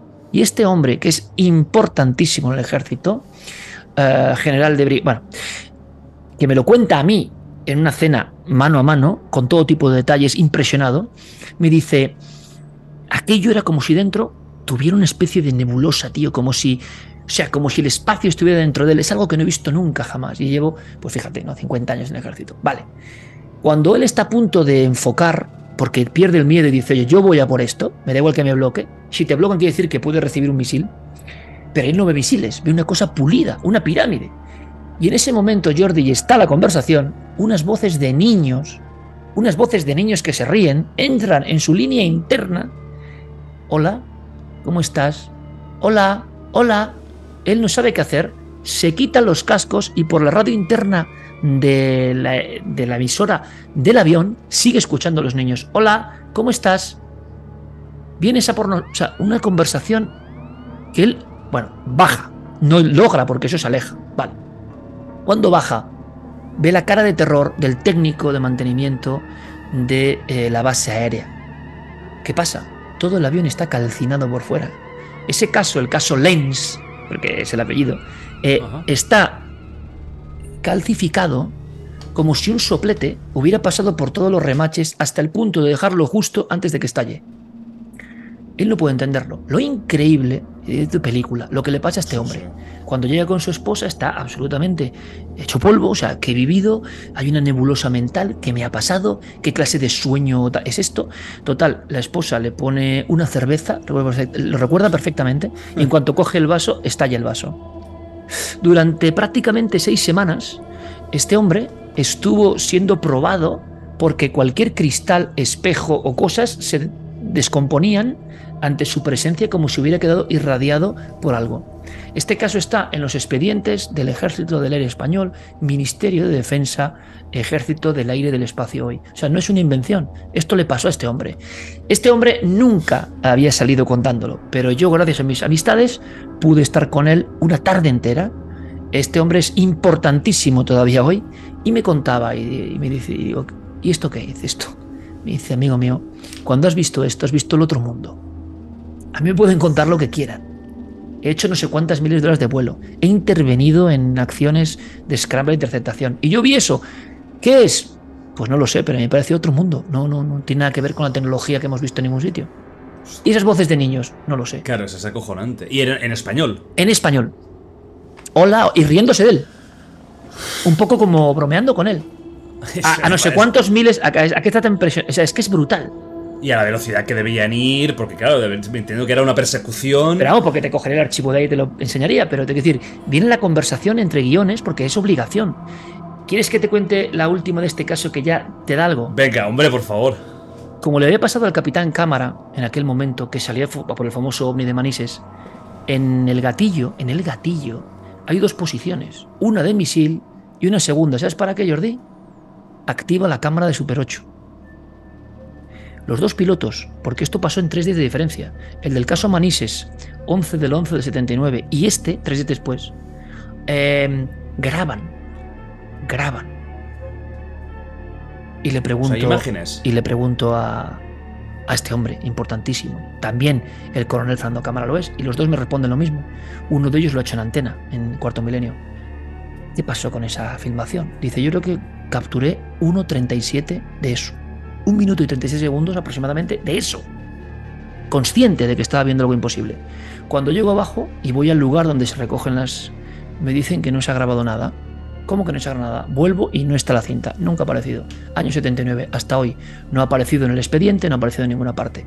Dos ovnis, de esta forma tan rara que jugaron con nuestros aviones de combate, se filmaron por parte de dos autoridades del Ejército del Aire. No, no están las cintas.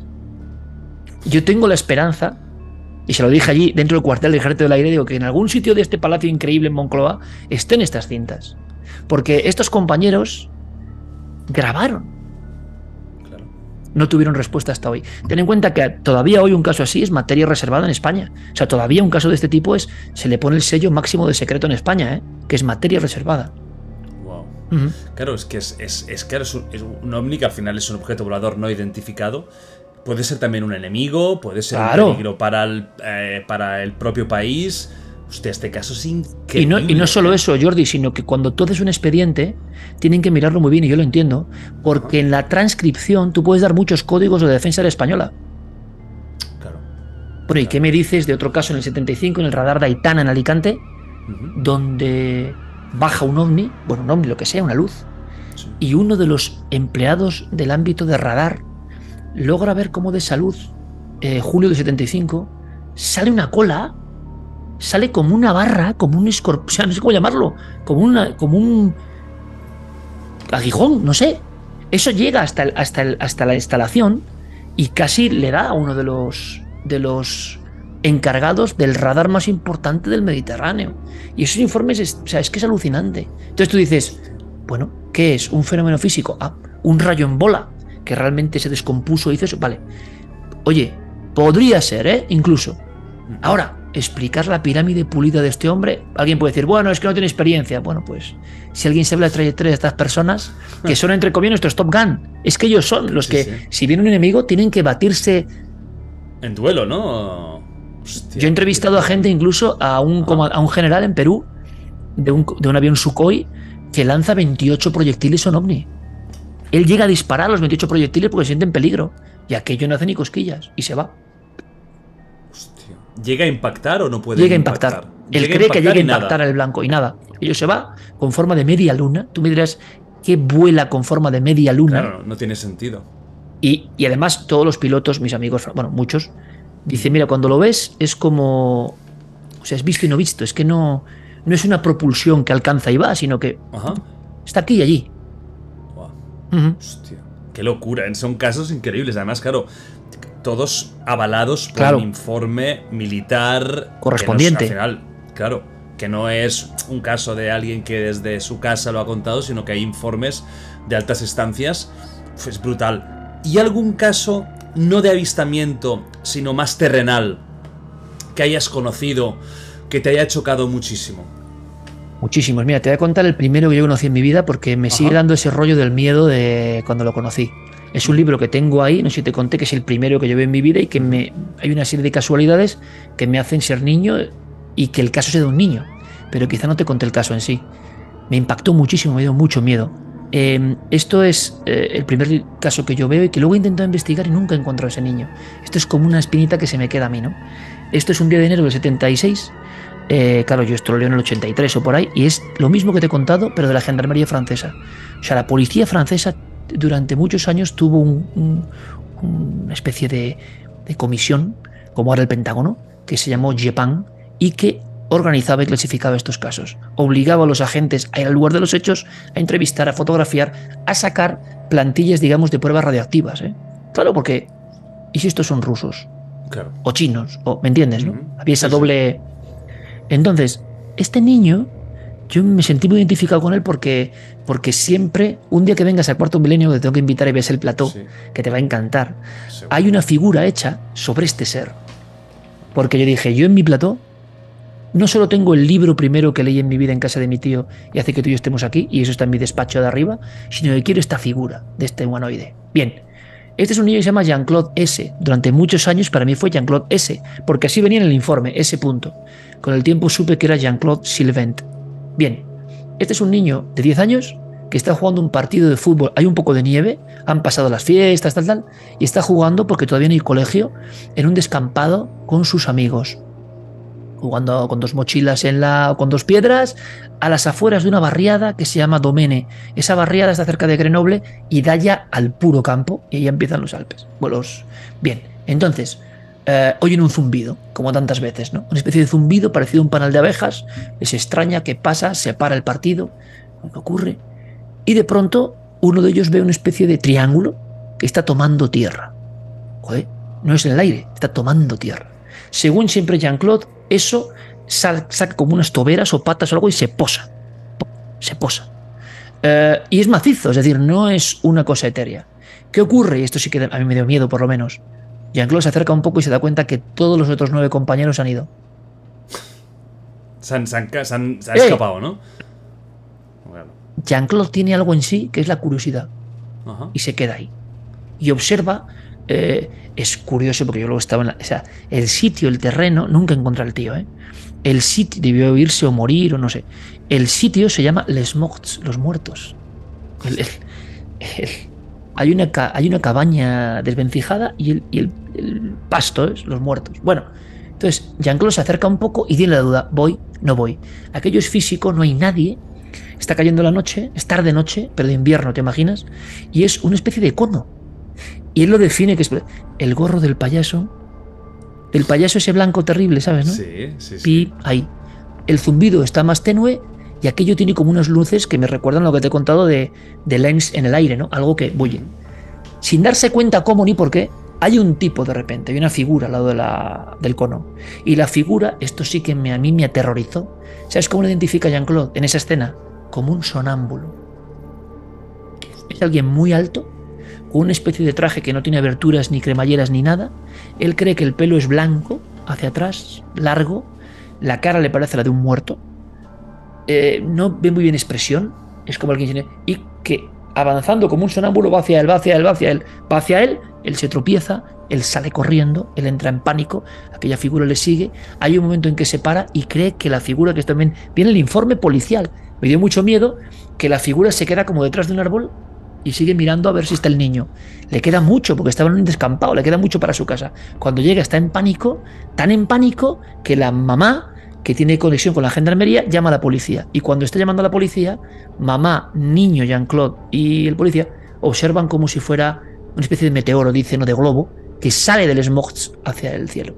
Y este es el primer caso que yo eh, leo en mi vida, con un agravante. Y es que mientras lo estoy leyendo, estoy viendo una foto en blanco y negro que pone, por este atajo se aproximó el ser. La foto de la gendarmería francesa. O el descampado donde luego había una especie de pisadas y de huellas de esa especie de cono. Y eso, claro, tú lo lees con 10 años para cumplir 11. Uf. O sea, quedó, quedó, quedó, vamos a decir, una especie de huellas del peso Sí. de algo. Del peso de algo y la quemadura de algo, sí. Y eso la, y hay fotografías de la Sí, gendarmería sí, sí, claro, claro. francesa. Es el primer caso que yo leo en mi vida. Es que la gendarmería francesa, entre el año 61 y el año 80 y pico, eh, filtró miles de casos de este tipo. Claro, no todos con estas evidencias. Tú imagínate la foto de los policías fotografiando ahí. El niño declaraciones en comisaría. Ajá. Ajá. Y, Eso- y nunca supo. Es verdad que en Domene, en esa zona, otras personas que no lo sabían habían visto luces extrañas similares, pero nunca una especie de zona. Este niño, sea como fuere, vio un tipo que se bajaba de un triángulo, sea lo que fuere, que iba hacia él, iba por él, y él tiene que salir eh, presa del pánico. Es más, el niño no va varios, varios días a la escuela por shock, ¿no? Bueno, bueno, y también porque aprovechaba ya para Eso el desde luego. y no ir a Tú ya sabes que. Y para estar en el jugando al fútbol, ¿no? Hombre, si, si fuera español lo hubiera hecho seguro. Grupillos que somos, ya te digo yo que está un año sin ir a, al Mira, colegio. un caso muy parecido Ajá.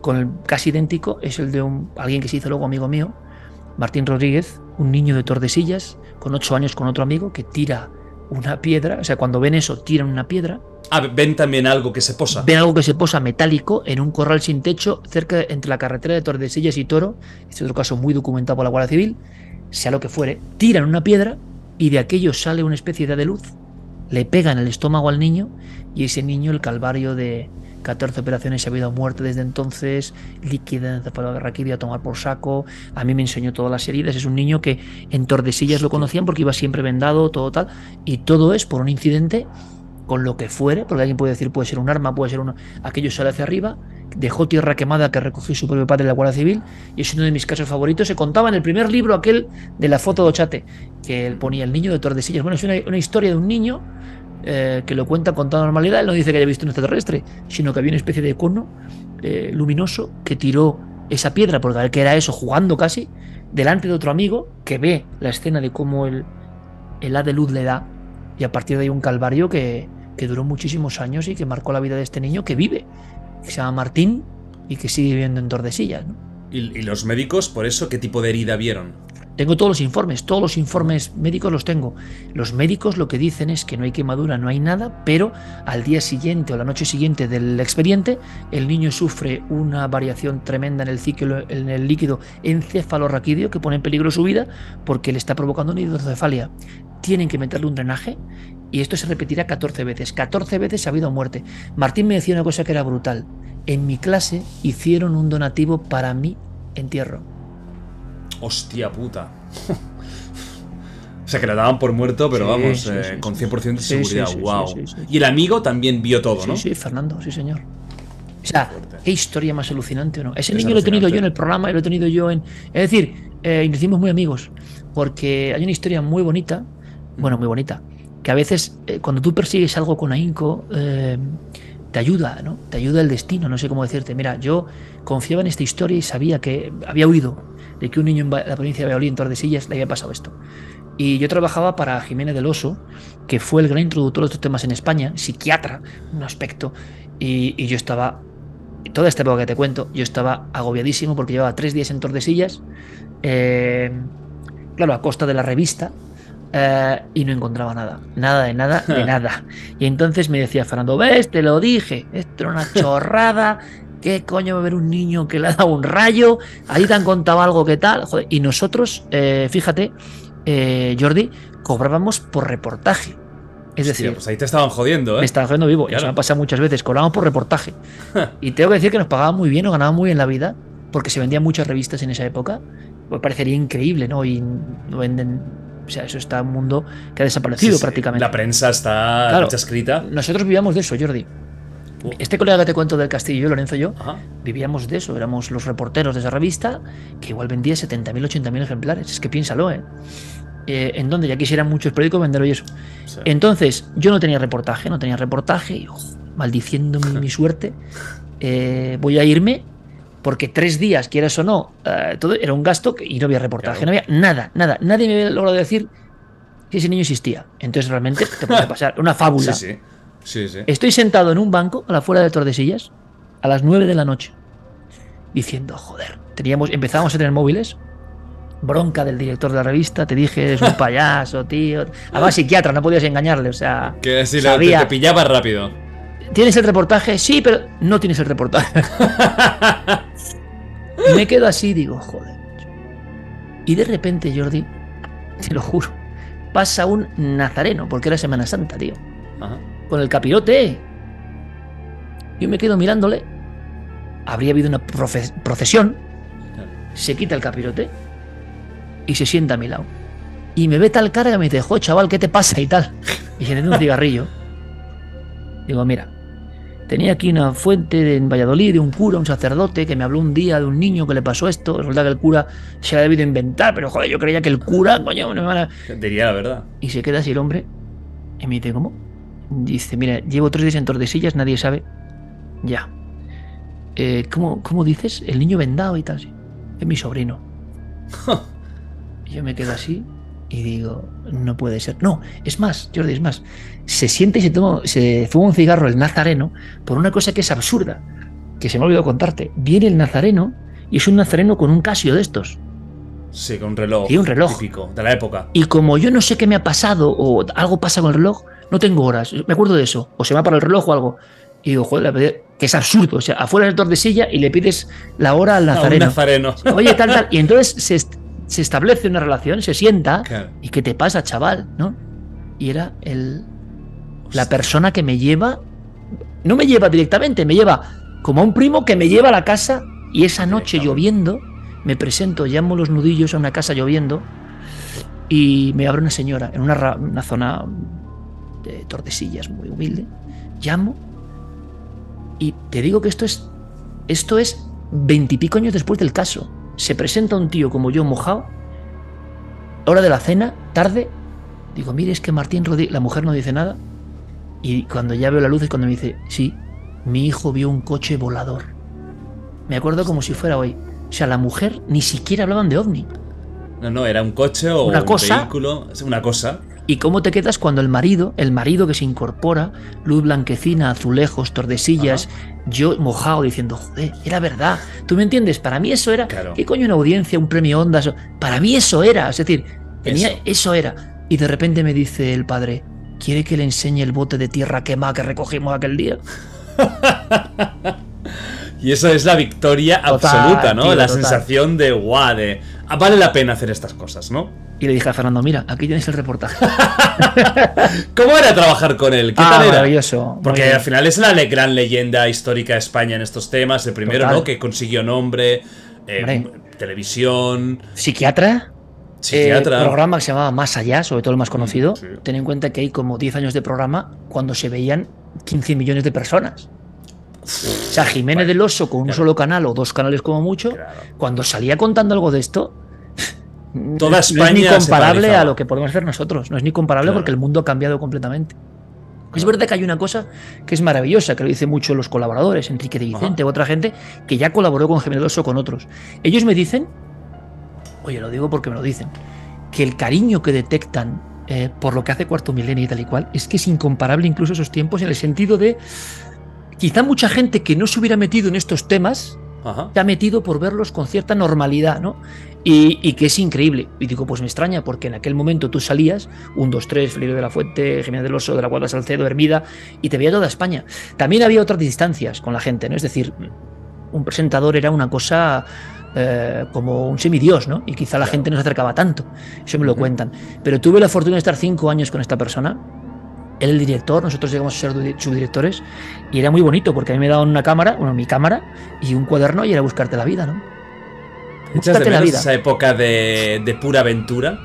Bueno, a veces sí, ¿no? Porque a veces intento desquitarme y últimamente he estado haciendo algunas cositas, he vuelto a las Urdes, he hecho algunas experiencias, a lo de Grecia, a lo de Turquía, bueno, intento, ¿no? Porque era muy bonito, era muy bonito. Sí, sinceramente ahora, por ejemplo, que he vuelto a las Urdes, eh, viendo las carreteras y viendo la noche y viendo cómo estaba todo, digo, ¿cómo me metías por ahí con 18 años? Es que no me lo creía. la inconsciencia, ¿no? De la juventud y de... Vamos con ya la última, después de este, de este momentazo que estamos teniendo. Yo estoy seguro que la gente lo está disfrutando como hacía mucho que no disfrutaban, porque sois muy fans del terror. Demasiado, ¿eh? ¿Os gusta?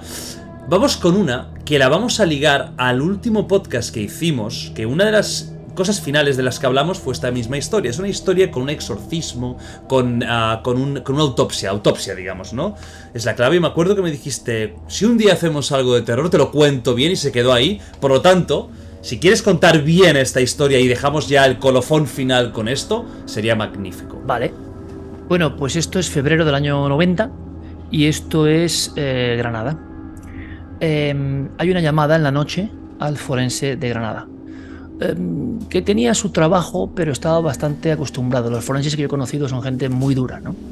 No les impacta nada prácticamente. Pero este forense, Blázquez, me hablaba a mí de esta historia como si hubiera vivido algo excepcional, ¿no? Y yo luego, recordando todos los parámetros, me di cuenta que era así.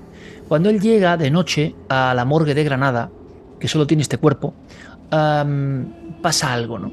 Algo que le ha dado muchas vueltas y que él incluso realizó un manuscrito, un libro, eh, sobre esta historia de cómo le impresionó. Y como te he contado antes, también le granjeó muchos enemigos. Porque claro, si tú eres una autoridad en la materia, eres el incuestionable forense de Granada, científico aséptico, pero cuentas esto. ¿Y qué le pasó? Bueno, cuando llega a la morgue y enciende, porque eh, sí es como las películas, azulejos. Hmm. Empezábamos esta noche, Jordi, curiosamente, con una sala de autopsias. Tú sabes como yo que no sé lo que me vas a preguntar. y con una mesa de autopsias con su desagüe de piedra. Pues imaginaos esto con un ventanuco, un pequeño cuarto, los azulejos, una mesa y seguramente algunas fotografías en blanco y negro de, de otros crímenes que se van superponiendo para que la policía pase a llevarse los expedientes. Este hombre ve una sábana y un cuerpo que parece evidentemente por los senos, las piernas de mujer. Eh, le llama la atención algo y es que por debajo de la sábana, en esa soledad de la noche de ese día de febrero, es un pelo totalmente rizado, casi como muelles, pero se da cuenta de algo que el forense ve a primera vista y es que está electrificado.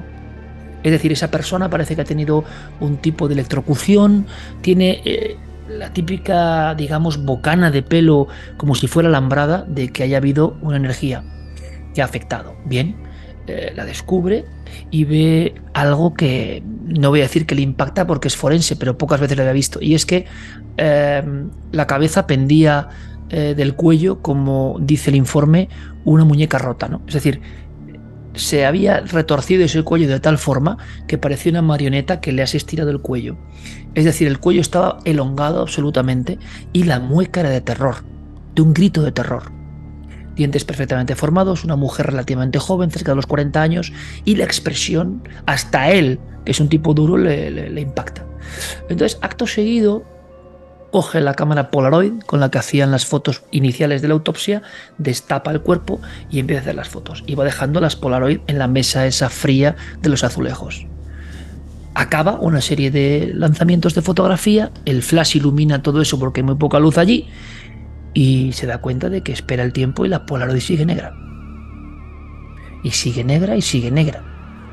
Vuelve a coger la cámara, vuelve a enfocar la cara, ese pelo, ese cuello despedazado, ese cuerpo, y sigue negra. Y esto sí que nunca le ha pasado. Bueno, por tanto, decide algo que hacía tiempo que no hacía, pero que, coge la cámara eh, Betamax de vídeo que tenían para algunos casos especiales, que va con un magnetoscopio. Esto a la gente joven le puede impresionar, pero yo conocí eso, tuve uno, es con un maletín con el vídeo, con el rec aquí, y una cámara que pesa un quintal, y la coge y empieza a grabar. Esta cámara lleva un cable que va a una tele Telefunken que está ahí y tiene circuito cerrado. Se ve la, la primera imagen como un destello y todo negro revisa las conexiones y todo negro. Y nunca la pasa en la vida. Dice, bueno, me falla la Polaroid, me falla la cámara. ¿Qué demonios es esto? Cuando se acerca, que no lo había hecho a la, a lo que es la llave de papel o la etiqueta que había puesto junto a la oreja el ayudante, se da cuenta, la coge y pone Encarnación, Granada, Barrio del Albaicín y en rojo pone Exorcismo. Y ahí empezaba esta historia. Esta mujer había estado en una secta en Francia eh, una secta de tipo satánico, de lo que hemos hablado, con una serie de líderes que evidentemente buscarían, vaya usted a saber qué, hay actos sexuales, y ella vuelve a Granada muy impresionada porque está convencida de que es madre del diablo. Ella está convencida de que en uno de esos ritos ha engendrado al maligno. Eh, la película La profecía en vivo, pero en Granada cuando llega muy preocupada en un ambiente sociocultural muy concreto, cuenta ah, lo que está pasando a su familia. Eh, la familia llama a una especie de curandero cercano llamado el pastelero y a otra gente porque se dedica a eso, pero al mismo tiempo lo de siempre. Tiene esa doble bis que es curandero, brujo, lo que uno quiera. Y ahí se produce una sesión de espiritismo.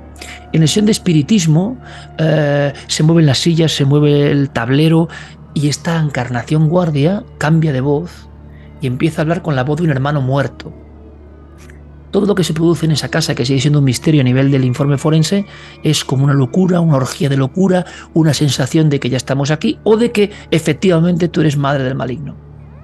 Están tan convencidos todos al mismo tiempo por la sesión de espiritismo de que Encarnación tiene en sus entrañas al maligno que lo obligan a beber un brebaje de más de varios litros de sal, salmuera y vinagre hasta que le provocan en mitad de voces de otro mundo, retorcimientos y escenas dignas del exorcista la muerte, la muerte.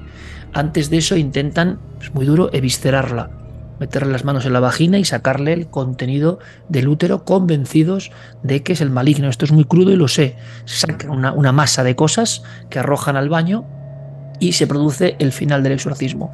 Todos vuelven un poco en sí sin saber qué han hecho en esa locura colectiva en un sótano y Encarnación tiene las vértebras completamente desencajadas. Ellos juran que habla con voz de hombre, con voz de espíritu que la ha poseído y cuya cabeza se ha girado varias veces entera, los brazos han extendido, bueno, un montón de cosas.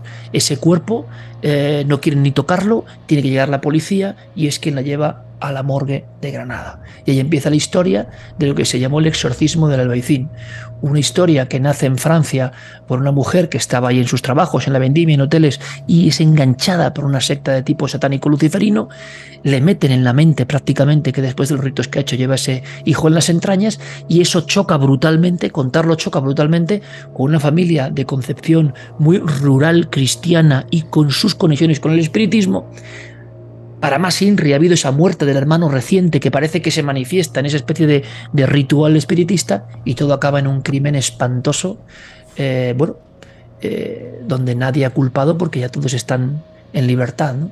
Y esto ocurre en un barrio de una solera y un poco mítico y mágico como el Albaicín y provocó un espanto, marcó la casa de por vida y marcó a este forense porque todo esto que le pasa con este caso le hace investigar el mundo del exorcismo, le hace investigar el caso y, bueno, como hemos hablado de otros personajes, meterse en las tinieblas.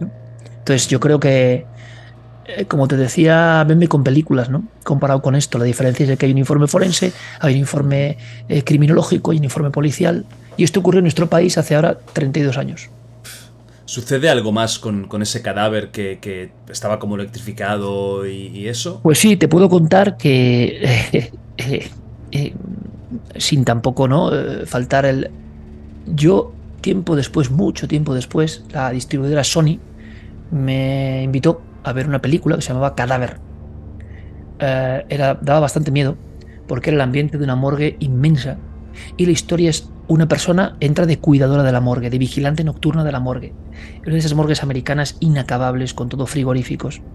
Em, y resulta que hay ruidos y movimientos en uno de los cuerpos. Cuando lo sacan, eh, es un ha hecho ruidos, ha hecho movimientos, ha hecho cosas raras. Y la mujer coge la cámara, fotografía y todo sale negro. Y yo le digo al, al de Sony, esto ya pasó en España.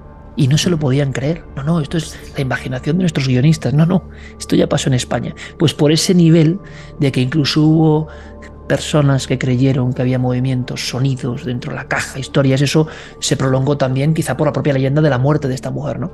Pero junto con el exorcismo de Almansa, donde pasa todo esto para una niña, que eso es terrible, esto mismo que os he contado, parecido, pero con una niña, la creencia, y aquí la ejecutora es su propia madre, un año antes en Almansa, eh, el exorcismo de Almansa es inenarrable, porque es lo mismo que os he contado, pero peor, creyendo la madre y la familia que la hija de nueve años se quedó embarazada del demonio. Esto es así, a la sombra del castillo de Almansa, ¿no? Eh, bueno, estos casos son criminología, son rito, son misterio y son muy peligrosos, ¿no? Aquí la diferencia es que el estudio fue pormenorizado de toda una autoridad forense que acabó, como empezábamos esta noche, viendo que las sombras de lo extraño a veces te rodean cuando menos lo, y yo creo que maldiciendo un poco, aunque fuera su trabajo, aquella llamada, una noche de lluvia de febrero del 90 en ese cuerpo solitario en la morgue. Qué maravilla. Por desgracia es una historia macabra, pero a la vez qué maravilla de historia, qué maravilla de. ¡Qué maravilla de, noche hemos tenido aquí! En, bueno. en este especial Halloween, en The Wild Project, en esta conjunción con, con el rincón de Giorgio. Eh, Iker, ¿te lo has pasado bien contando estas historias? Espero no haberte exprimido demasiado. Eres, eres el entrevistador top. Yo de verdad eh, lo he dicho siempre, tú lo sabes, y lo mantengo. Y hemos hecho de puras historias. Pero yo me siento muy a gusto contigo. Pido disculpas porque hay un montón de colegas, queda, pero es así que, me han pedido. Pero bueno, yo creo que estoy tan agradecido a la gente lo que me dice de cuando he intervenido en The Wild Project que, oye, yo tengo que, cuando tú me llames, ahí estar y, y, contribuir un poco a una noche diferente. Y oye, si he logrado que haya interés y que luego sigan esas historias, pues fantástico. Yo creo que sí, yo creo que mucha, mucha gente que quería precisamente esto, ¿no? Bueno, esta, esta magia que tiene el Halloween, esta, esta semana, ¿no? Especial, de que a la gente le gusta todos estos temas, yo creo que le habrá encantado.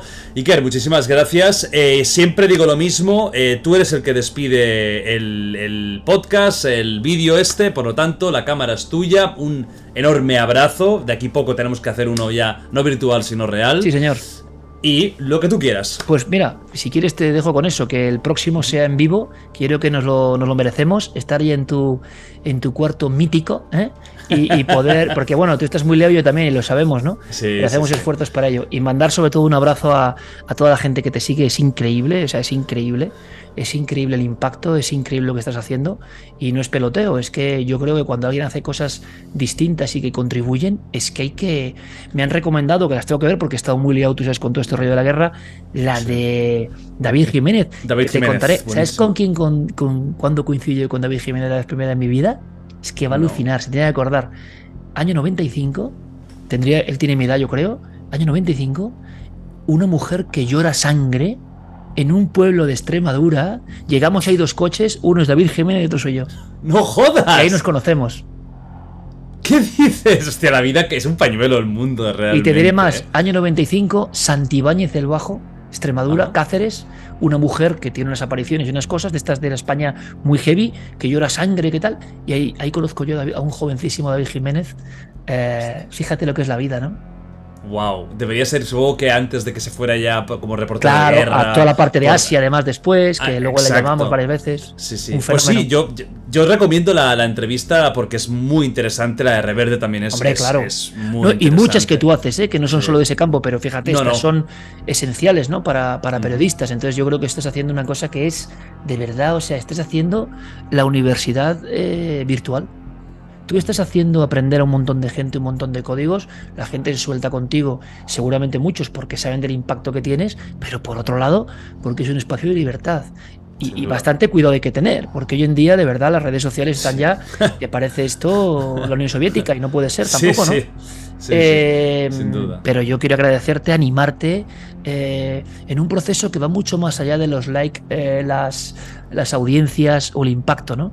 Yo creo que, mm, o sea, se puede tener impacto con muchas cosas en la vida, pero hacerlo con algo no, loable, honesto, algo que te hace aprender, que te hace divertirte, que te hace reflexionar, es que eso es impagable, ¿no?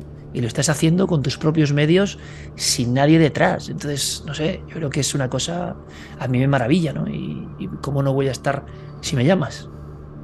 Y que luego te doy lo tuyo y ya pago que te. Eso. no, que gracias. me, me, me, me, voy a hinchar como un pez globo. Bueno, sabes que lo de corazón.